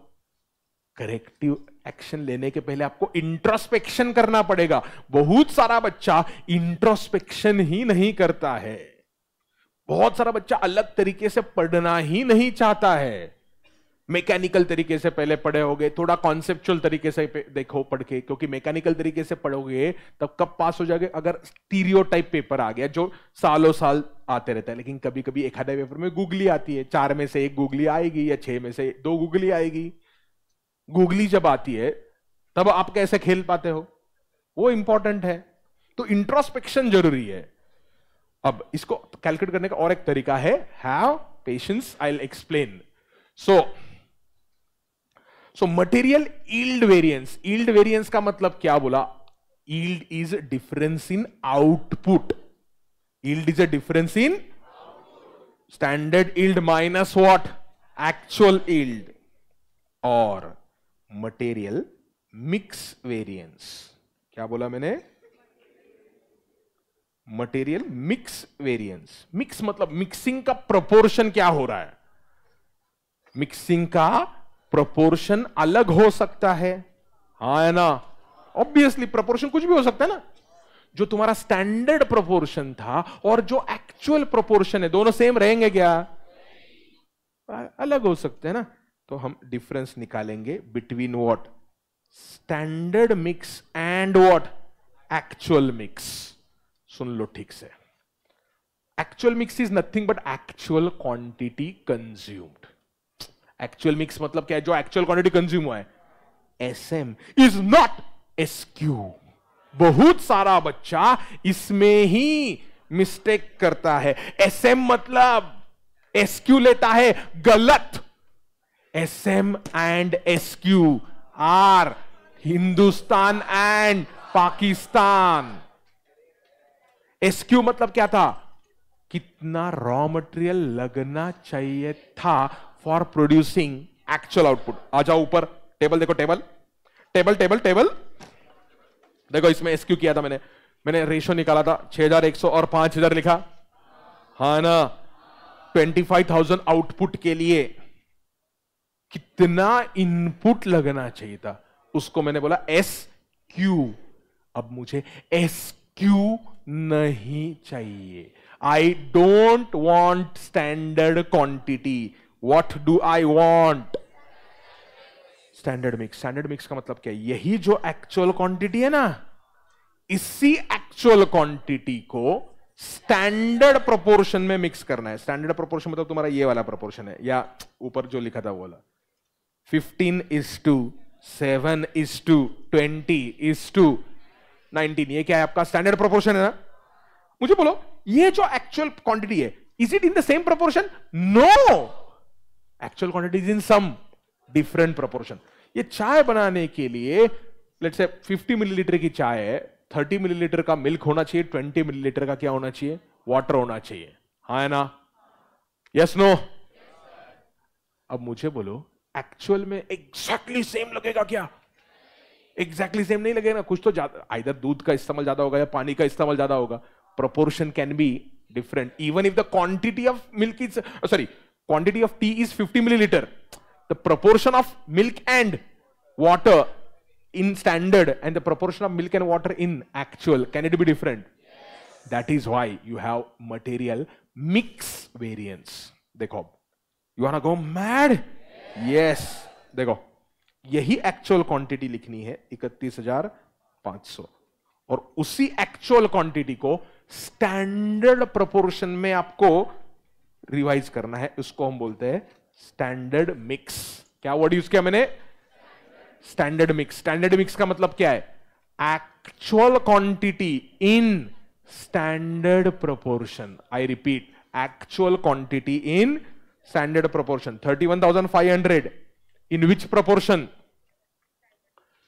in the standard proportion standard proportion क्या है तुम्हारे क्वेश्चन प्रोपोर्शन रहेगा ना कुछ तो? क्या है? 15 is to 7 is to 20 is to whatever whatever. कितना है प्रोपोर्शन बोलो standard mix seven seven seven seven four six और आ रहा है क्या आगे? ठीक है, अभी कुछ तो राउंड ऑफ़ करके लिखो, थोड़ा बहुत डिफरेंस आएगा। There will be some difference in what calculation seven seven four six next three six next ten thousand three twenty eight nine eight one one क्या किया आपने? उसको प्रपोर्शन में लिया। कौन सा प्रपोर्शन है? Fifteen is to seven is to twenty is to समझ में आएगा सबको? I assume every one is crystal clear about this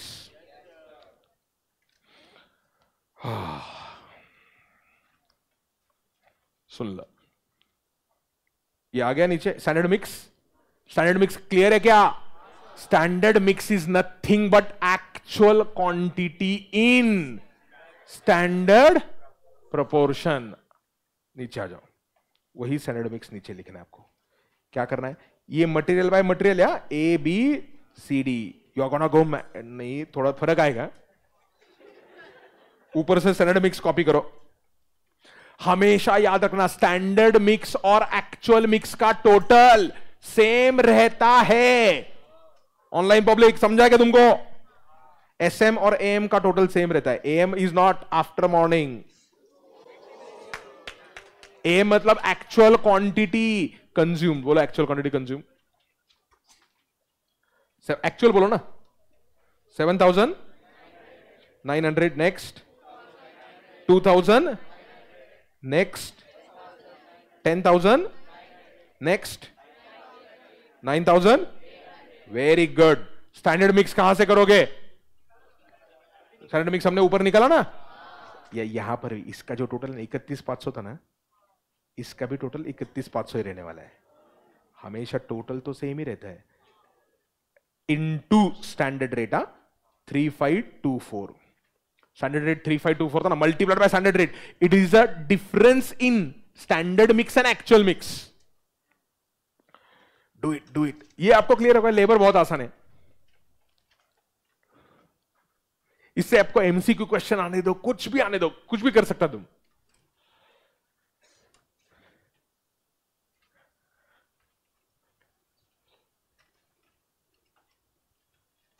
complete करो। Three five four two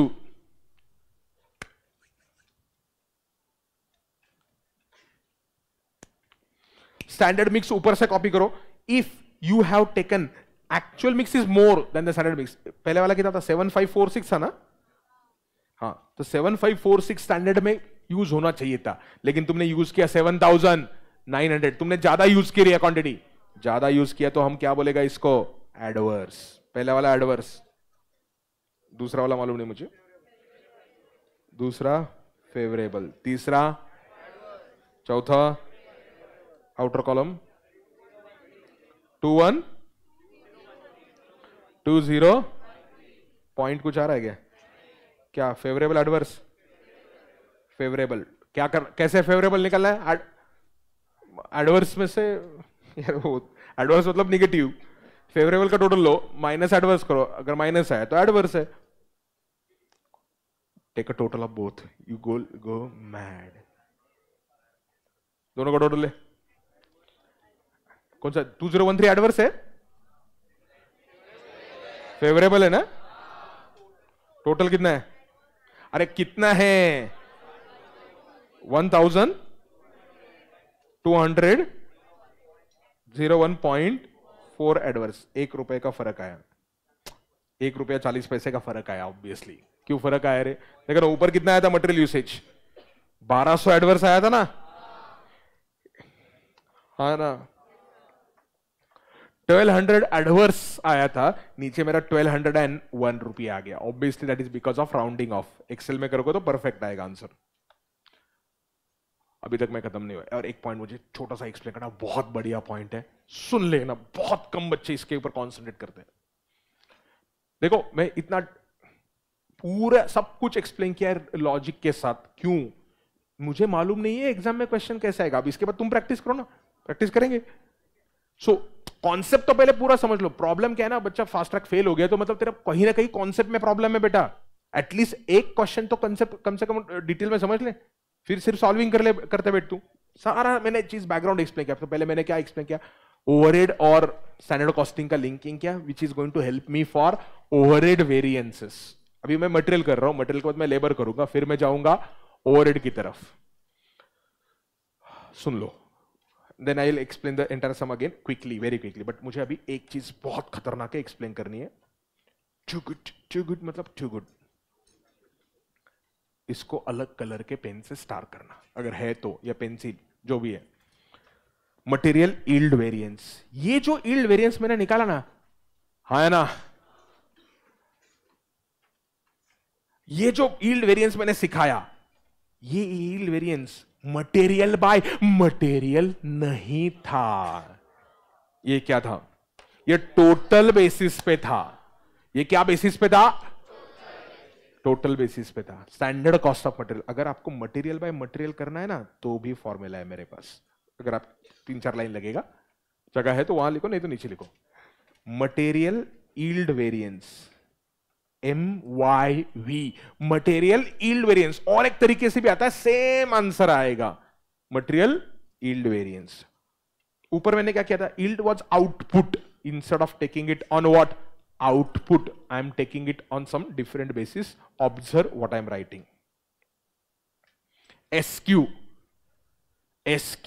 Minus S M S M मतलब standard mix. Into sr sr is per unit. ये S M आपके पास ऊपर ही, इधर ही है। सेवन फाइव फोर सिक्स क्या था रे? बोल ना, ऊपर से कॉपी किया था, इधर। Seven A Three, six.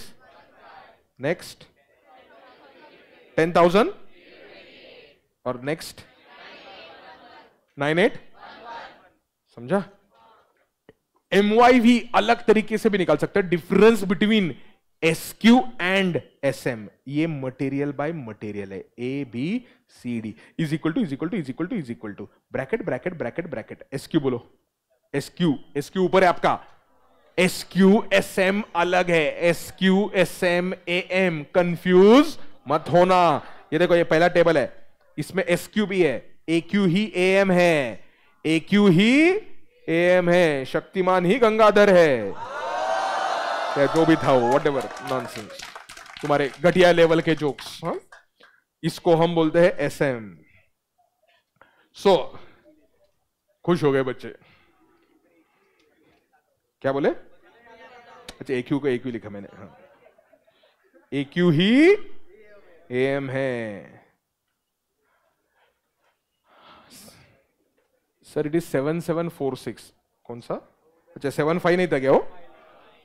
Seven seven था ओके ठीक है। सेवन सेवन हाँ चलो एस क्यू बोलो मुझे पहले।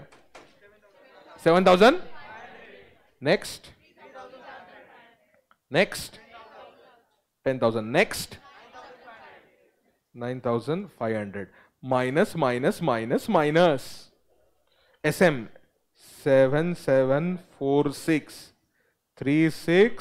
one five ten thousand three twenty eight and nine eight one one bracket bracket bracket bracket S R is three five two four three five two four is your standard rate अब, ये क्या है? S Q इतना लगना चाहिए था, लगा seven seven four six standard mix is actual quantity only in the standard ratio बोलो।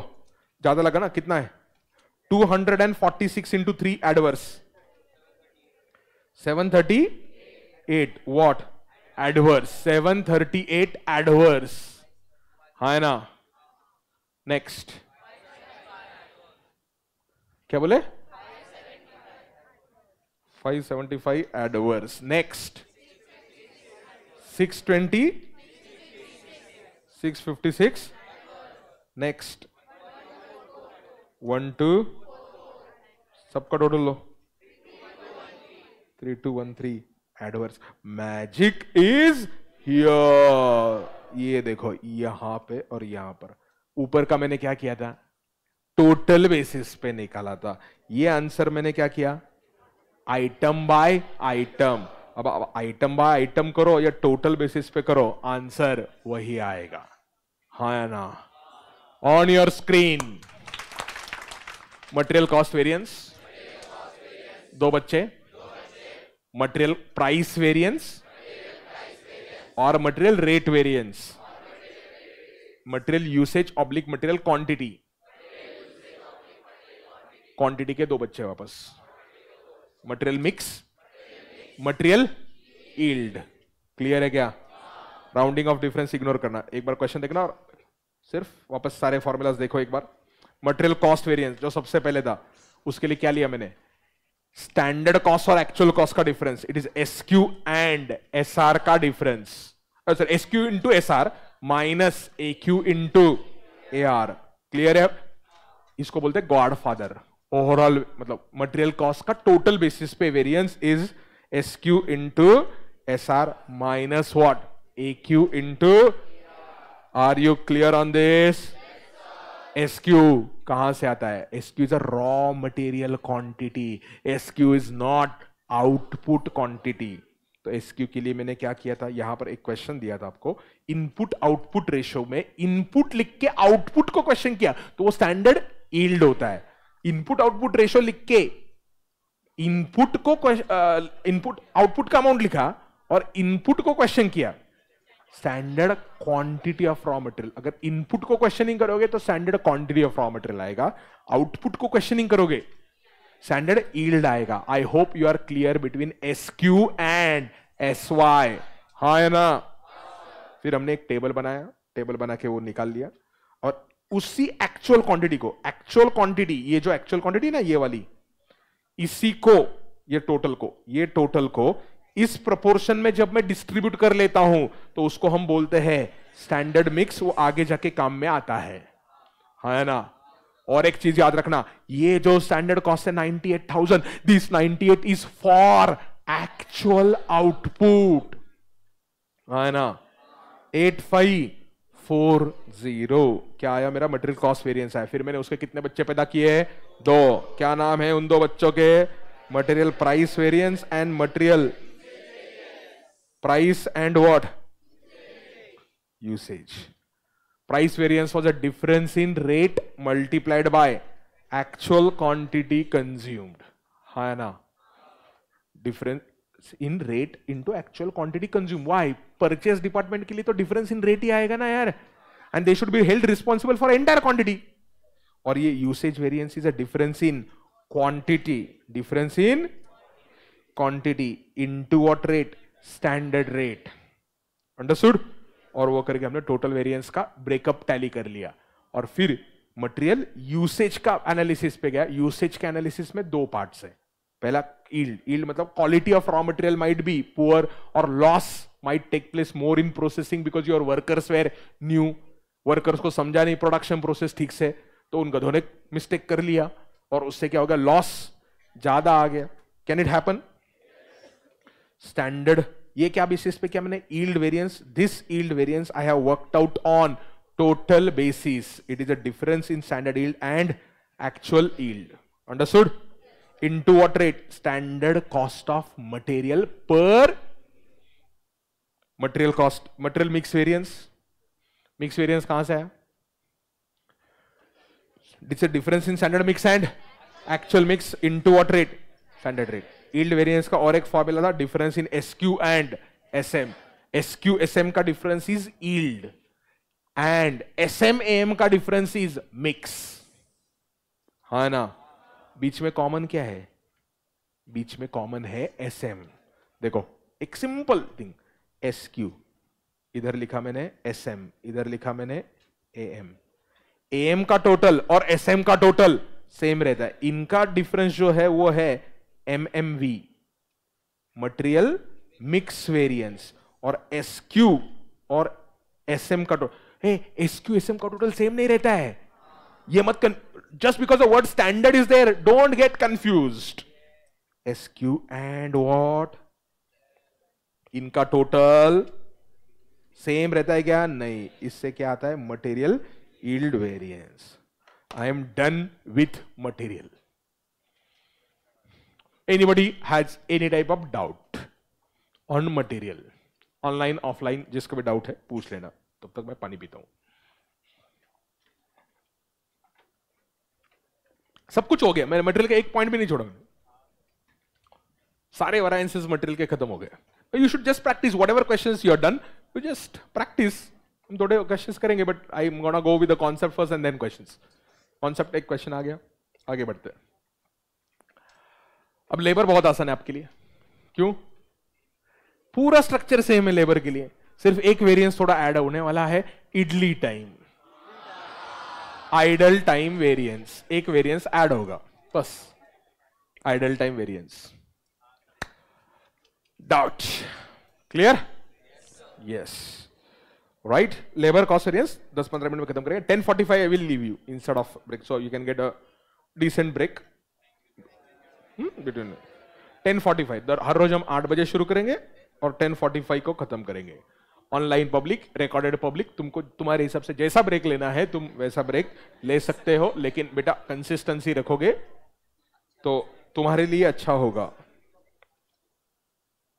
लेबर कॉस्ट वेरिएंस और ये रिवीजन है तो ये अज्यूम्ड है कि आपको विजन है। थोड़ा बहुत आपको मालूम है। I am standard mix is nothing but actual quantity in what standard mix is nothing but actual quantity in the standard proportion S M और क्यू में बहुत बड़ा अंतर है। इसी एम को this M is in this is actual quantity in actual ratio और actual proportion sm is what it is also actual quantity but in what standard proportion but in what proportion standard proportion ha hai na next I hope समझा S Q था? S Q was quantity for actual output in standard proportion तो S Q और S M में कुछ similarity है। Standard proportion ये similarity है। S M और एम में भी सिमिलैरिटी है एक्चुअल क्वांटिटी लेकिन प्रोपोर्शन अलग है। इन एस एम और एम में सिमिलैरिटी क्या है? एक्चुअल क्वांटिटी डिफरेंस क्या है एस एम ए एम में? प्रपोर्शन एस क्यू और एस एम में डिफरेंस क्या है? क्वांटिटी अलग अलग है. लेकिन सिमिलैरिटी क्या है? प्रोपोर्शन एस क्यू और एस एम का प्रपोर्शन सेम रहता है. चलो लेबर कॉस्ट के मैं आपको एक बार चार्ट बना के देता हूँ सारे वराइंसेस एंड देन दस पंद्रह मिनट एक्सप्लेन करता हूँ and then you can take a break over it's will do tomorrow labour cost आ गया ओवर का बैलेंस आ गया, और फिर उसके बाद करना क्या है? कुछ रेशोज है, आएँगे, और उसके बाद standard costing versus absorption costing का प्रॉफिटेबिलिटी स्टेटमेंट या स्टैंडर्ड कॉस्टिंग के अंदर प्रॉफिटेबिलिटी स्टेटमेंट कैसे बनाते हैं? I am expecting that kind of question बहुत टाइम से आया नहीं है तो देखते हैं। सारी चीज़ों में सिखाऊँगा पहला, ये देखिए लेबर का god father variance is same father variance is same same मतलब labour cost variance is equal to standard cost minus what actual cost standard cost minus actual cost is known as what labor cost variance standard cost minus actual cost is nothing but labor cost variance do you agree standard cost कैसे आएगा बेटा Standard cost is nothing but standard hours. Instead of SQ, we are going to say SH. Standard hours. कितना time लगना चाहिए था standard hours for actual output standard hours for actual output multiplied by standard rate multiplied by what standard rate standard rate of labour हा? Material का standard rate अलग रहता है labour का अलग रहता है। अब जैसे मटेरियल में ए बी सी डी था तो वैसे लेबर में क्या रहता है? डिफरेंट कैटेगरीज ऑफ़ वर्कर्स रहेंगे। Skilled worker semi skilled unskilled हर एक कैटेगरी के हिसाब से रेट अलग रहेगा।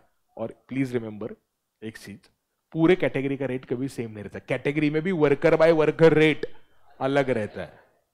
फिर हमारे सिलेबस में अपने पास क्या होता है? लिमिट रहता है कितना लेंदी क्वेश्चन हम सॉल्व कर सकते हैं। इसलिए पूरे स्किल्ड कैटेगरी का रेट पर आवर हम सेम अज्यूम करते लेकिन सारे के सारे वर्कर एक टाइम पे ज्वाइन किए, सबका एक्सपीरियंस सेम है। ऐसा नहीं होता ना? तो क्या होता है? रियलिटी में आपको ये वर्कर बाय वर्कर कैलकुलेशन करने पड़ेंगे not necessarily by category by category so standard hours this is for direct workers हाँ? ये जो लेबर कॉस्ट है डायरेक्ट लेबर का है, क्योंकि इनडायरेक्ट लेबर जो है, वो तो ओवरहेड है। वो ओवरहेड को गए ही नहीं हम अभी तक। जो मटेरियल डिस्कस किया, वो भी कौन सा मटेरियल था? Direct material only how come direct material only direct material की बात किया ना हमने? क्योंकि इनडायरेक्ट मटेरियल जो है, वो कहाँ पर जाएगा तुम्हारा? ओवर में जाएगा ना इनडायरेक्ट मटेरियल समझ में आया क्या? तो एक्चुअल कैसे आएगा? एक्चुअल ओह, एक चीज़ बोलना है मुझे। एक्चुअल आर्स पेड फॉर एक सेकेंड ऊपर जो है ना, ऊपर एक चीज़ मुझे बोलना, भूल गया मैं। मटेरियल प्राइस वेरिएंस इसमें मैंने एक्चुअल क्वांटिटी कंज्यूम्ड लिया। अभी इस क्वेश्चन में मैंने दिया नहीं था। इधर अल्टरनेटिवली परचेस भी ले सकते हो। अगर एग्ज़ाम में दोनों क्वांटिटी दिए क्वांटिटी परचेस भी दिया और क्वांटिटी कंज्यूम भी दिया। दोनों आंसर देके घर पे आओ। अगर क्वांटिटी परचेस यहाँ पे लोगे आप, और ये usage variance usage variance is always with quantity consume price variance के सिर्फ़ दो फॉर्मूला है। Instead of quantity consumed some people consider quantity purchase also point बोलता हूँ, सुनो। मैंने मटेरियल आज परचेस किया। तो वेरिएंस में परचेस के टाइम पे कैलकुलेट करूँ? या मटेरियल जब कंज्यूम होगा, तब कैलकुलेट करूँ। डिफरेंस ऑफ़ ओपिनियन तो क्या करने का एग्ज़ाम में? दोनों लिख किया ना तेरा क्या चाहता हेडलाइन लिखो। Material price variance material price variance can be worked out can be worked out either with reference to either with reference to quantity consumed or quantity purchased quantity consumed or quantity purchased in exam present both answers if data is given obviously data देना चाहिए अभी जो मैंने question दिया था उसमें data नहीं था क्या डेटा नहीं था? परचेस का डेटा नहीं दिया था ना क्वेश्चन में? अगर परचेस का डेटा दिया ही नहीं तो क्या करोगे आप? कंज्यूम के हिसाब से करोगे। इज़ एवरीवन क्लियर हाँ लेबर में बहुत मस्त मस्त मज़ा है। आवर्स जो होते हैं ना बच्चों, पहले एक चीज़ समझ लो। Hours paid and hours worked are Hindustan Pakistan क्यों? Idle time is a time for which payment is made but work is not done idle time idle time is what hours paid for but not worked for paid for but not समझ गया क्या तो actual hours paid for multiplied by what rate actual rate actual hours paid for into actual rate is known as what? Actual cost.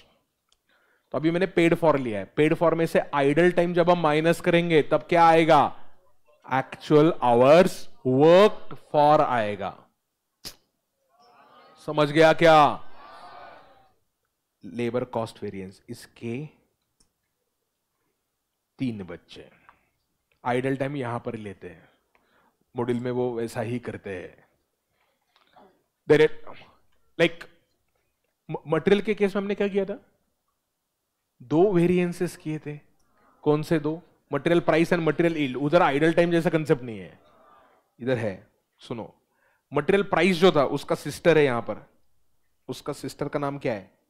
Labour rate variance labour rate variance So labor rate. Rate is basically difference between, बोलो rate is a difference between the prices or rates labor rate variance standard rate minus what actual rate rate per hour है यहाँ पर into what actual hours paid for actual hours work नहीं लिया मैंने actual hours paid क्यों? ये किसका काम है? लेबर को पे करना एचआर डिपार्टमेंट का। एचआर डिपार्टमेंट ने जितने भी आर्स लगे, वो ज़्यादा लगे या कम लगे? डोंट आस्क अ क्वेश्चन तुम्हारा काम क्या है? जितने भी आर्स काम किया वर्कर्स ने, उनको स्टैंडर्ड रेट पे पेमेंट करने का। तुमने पेमेंट अगर ज़्यादा रेट पे किया है whatever the reason escalation हो गया होगा इन्फ्लेशन इंडेक्स बढ़ गया होगा। से क्या होता है? डियरनेस अलाउंस रहता है। वेजेस में एक एलिमेंट रहता है dearness which is dependent on inflation तुमने जब एस्टिमेट किया था, तब इन्फ्लेशन अलग था। एक्चुअल में इन्फ्लेशन अलग हो गया। तो तुम्हारा डियरनेस अलाउंस बढ़ गया। इसलिए एक्चुअल वेजेस बढ़ गए। रेट बढ़ गया। पॉसिबल है ना? एक्चुअल आर पेड फॉर लिया मैंने।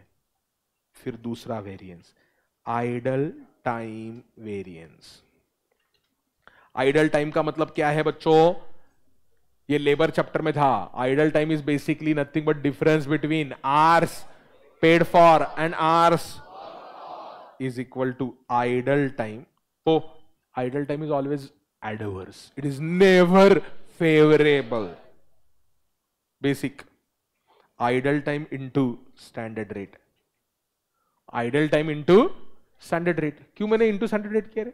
ऑब्वियसली स्टैंडर्ड रेट पे निकालना है यार। जो रेट का डिफरेंस है वो मैंने ऑलरेडी कैप्चर कर लिया। रेट का डिफरेंस ऑलरेडी आर्स पेड के लिए मैंने कैप्चर कर लिया।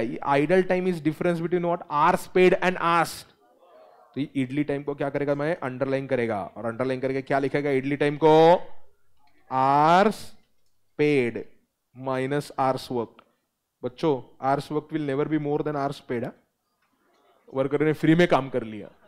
You paid him for eight hours and he work for twelve hours ऐसा कभी होता नहीं है। एक्सेप्शन एक्सेप्शन एक ही है। Article clerks who are paid for about thirty five hours a week and have to work for fifty sixty hours a week और फिर जाके बोलेंगे, नारायण मूर्ति जी बोलते इतना काम करो. एक्सेप्शन इसका एक ही है article clerk but he is not a worker So, he's a student who is aspiring to get a lot of knowledge. So, idle time. So बेटा तीसरा वेरिएंस लेबर अभी वर्ड जो है ना, थोड़ा अच्छा यूज़ करो लेबर मटेरियल में मटेरियल यूसेज बोला था ना लेबर यूसेज बोला था, थोड़ा लो लेवल लगता है तो हम लेबर के केस में लेबर इफिशियंसी वेरिएंस बोलते we don't call it as labour usage variance labour efficiency बोलो मटेरियल का यूसेज वेरियंस क्या था? डिफरेंस इन क्वांटिटी था। तो यहाँ पर it is difference in hours कौन से hours S H standard hours minus actual hours work क्यों वर्क जो इडली टाइम था, वो इडली टाइम मैंने ऑलरेडी एनालाइज कर लिया ना। इडली टाइम मैंने एनालाइज कर लिया। कहाँ पर? इधर एनालाइज कर लिया ना आइडल टाइम में। Into what rate standard rate into standard rate है ना? बच्चों रेट का जो पूरा का पूरा डिफरेंस है, वो हमने ऑलरेडी लेबर रेट में लिया। इसीलिए इन दोनों को मैंने कौन सा रेट लिया है? स्टैंडर्ड रेट स्टैंडर्ड रेट क्यों स्टैंडर्ड रेट स्टैंडर्ड रेट लिया? Logic is entire rate difference is already captured in labour rate variance efficiency variance efficiency variance के अभी हम क्या करेंगे? वापस दो बच्चे। जैसे मटेरियल के दो पैदा किए थे ना, वैसे इसके भी दो पैदा हो गए। डिड यू नोटिस वॉट कहीं पे मैंने आर्स पेड लिया है, कहीं पे मैंने आर्स देखो। Hours paid for hours paid for paid paid और यहाँ पर क्या लिया? आर्स वर्क लिया मैंने। आइडल टाइम तो डिफरेंस था। I hope every one understood हा ना? नेक्स्ट लेबर इफिशियंसी हो गया? अब labour efficiency can be more can be less labour yield variance वापस वही वाला। ये सब मटेरियल जैसा ही कुछ भी फ़र्क नहीं है। लेबर ईल्ड वेरिएंस मटेरियल में क्या किया तुमने? दो तरीके से कैलकुलेट किया था इसको। कौन से दो तरीके? टोटल बेसिस पे करो या मटेरियल बाय मटेरियल करो। यहाँ पर भी टोटल बेसिस पे करो या लेबर बाय लेबर करो। देखो labour yield variance is going to be क्या निकालूँगा मैं? Standard yield minus what actual yield बच्चों, ये जो ईल्ड रहता है ना, वो मटेरियल के लिए ले लो या लेबर के लिए ले लो, वही रहता है। एक्चुअल ईल्ड मतलब एक्चुअल आउटपुट है रे। Yield is output standard yield is what कितना आउटपुट आना चाहिए? एक्चुअल ईल्ड मतलब कितना आउटपुट आया है? Into S C L per unit S C L standard cost of labour material में मैंने क्या लिखा था? स्टैंडर्ड कॉस्ट ऑफ़ मटेरियल लिखा था। अब मैं क्या लिख रहा हूँ? स्टैंडर्ड कॉस्ट ऑफ़ लेबर लिख रहा हूँ। Standard cost of labour per unit ये स्टैंडर्ड कॉस्ट ऑफ़ लेबर कहाँ से आएगा? टेबल से आता है ना? और दूसरा क्या है? लेबर मिक्स वेरिएंस अब बोलेगे लेबर का मिक्स कहाँ से आएगा sir workers don't get mixed the proportion in which the workers work on a job like for example एक जॉब को पाँच स्किल्ड वर्कर चाहिए थे, तीन अनस्किल्ड चाहिए थे, और दस सेमी स्किल चाहिए थे whatever actual proportion can be different ना category by category question of ओ ये सब इफिश ये जो है ना, ये सब एनालिसिस का क्वेश्चन कब आता है? जब अलग अलग टाइप के वर्कर्स है। If there is only one type of worker required ये एनालिसिस कर ही नहीं सकते हो। क्यों? Labour efficiency everything is labour yield The question of mix arises only when you have two or more types of workers required or two or more types of material required. Labor mix बोलो, क्या formula आएगा? S M minus A M into standard rate standard rate ये तुम्हारा क्या है? Labour by labour है category by category है. Yield variance का ये जो फॉर्मूला था, ये कैटेगरी बाय कैटेगरी था क्या? नहीं. ओ ए एम क्या है? A M is actual hours actual mix मतलब एक्चुअल आवर्स रे. उधर एक्चुअल क्वांटिटी था ना?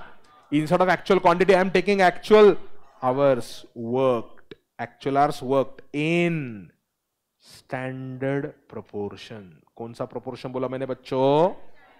स्टैंडर्ड प्रोपोर्शन लिया मैंने। I did not took actual proportion I took standard proportion actual hours worked did not took paid. I took actual hours work. In which proportion? हाँ very good ये देखो और, इधर एक और फॉर्मूला है ईल्ड वेरिएंस आपको पसंद नहीं है टोटल बेसिस पे, नहीं करने का मेरे को। मेरे को वर्कर बाय वर्कर करने का। कर सकते हैं क्या तुम? हाँ। आराम से कर सकते हैं worker by worker category by category जैसे, देखो, ऊपर क्या किया था मैंने? एस एस एम और ए एम का डिफरेंस मिक्स था। तो यहाँ पर एस एम और ए एम का डिफरेंस मिक्स ही बोला मैंने। और दूसरा क्या था एस क्यू और S M instead of Q we are using H instead of standard quantity it is not a good word for labour ना डिमीनिंग लगता है ना क्वांटिटी में बोलो तो, तो हम क्या करेंगे इधर? स्टैंडर्ड आर्स बच्चों स्टैंडर्ड आर्स को वर्क या पेड का कंसेप्ट नहीं रहता है एक्चुअल आर्स को वर्क या पेड का कंसेप्ट रहता है। Standard hours minus what actual hours actual hours कौन से? Obviously I have to take actual hours work why actual hours work क्योंकि इफिशियंसी का एनालिसिस कर रहे हैं ना? Multiplied by what standard rate per hour S R per hour तो ये क्या था बच्चों? This was category by category this was total सारे के सारे फॉर्मूला सेम है. If you notice just small variation क्या आया? आइडल टाइम आया. हा ना? बच्चों स्टैंडर्ड मिक्स जो था, वो कैसे निकलता है? तीन कैटेगरी के वर्कर्स थे। Category A worker category B worker category C worker these categories are generally on the basis of skill set not on the basis of caste और gender should not be gender based तो वो category के रेश अलग अलग category है। उसका कुछ तो रेशो में उन्होंने काम करना चाहिए था एक जॉब पे। लेकिन ratio was out of hundred hours five three two fifty thirty twenty ऐसे रेशो में उन्होंने काम करना चाहिए था लेकिन एक्चुअल में काम किया उन्होंने। 40 30 30 532 के जगह पे वो 432 में आए एक्चुअल मिक्स तो हम क्या करते हैं? एक्च अच्छा अरे वो ये जो मीनिंग है ना ओके okay, मैंने अंडरलाइन एम को किया। This underline should be here ये अंडरलाइन एस एम का अंडरलाइन है। Standard mix is nothing but actual hours hours worked in standard proportion A M is actual hours worked A M का मतलब क्या है? Actual hours worked actual hours worked in which proportion obviously actual proportion और S M क्या है? S M is also actual hours worked but in which proportion समझ में आया क्या so what are we done we are done with material cost variance we are done with labour cost variance और overhead के लिए मैंने complete background तुमको देके रखा है ओवरहेड्स का। I hope you would recollected lot of things that you would learn right online public like share subscribe see you tomorrow bye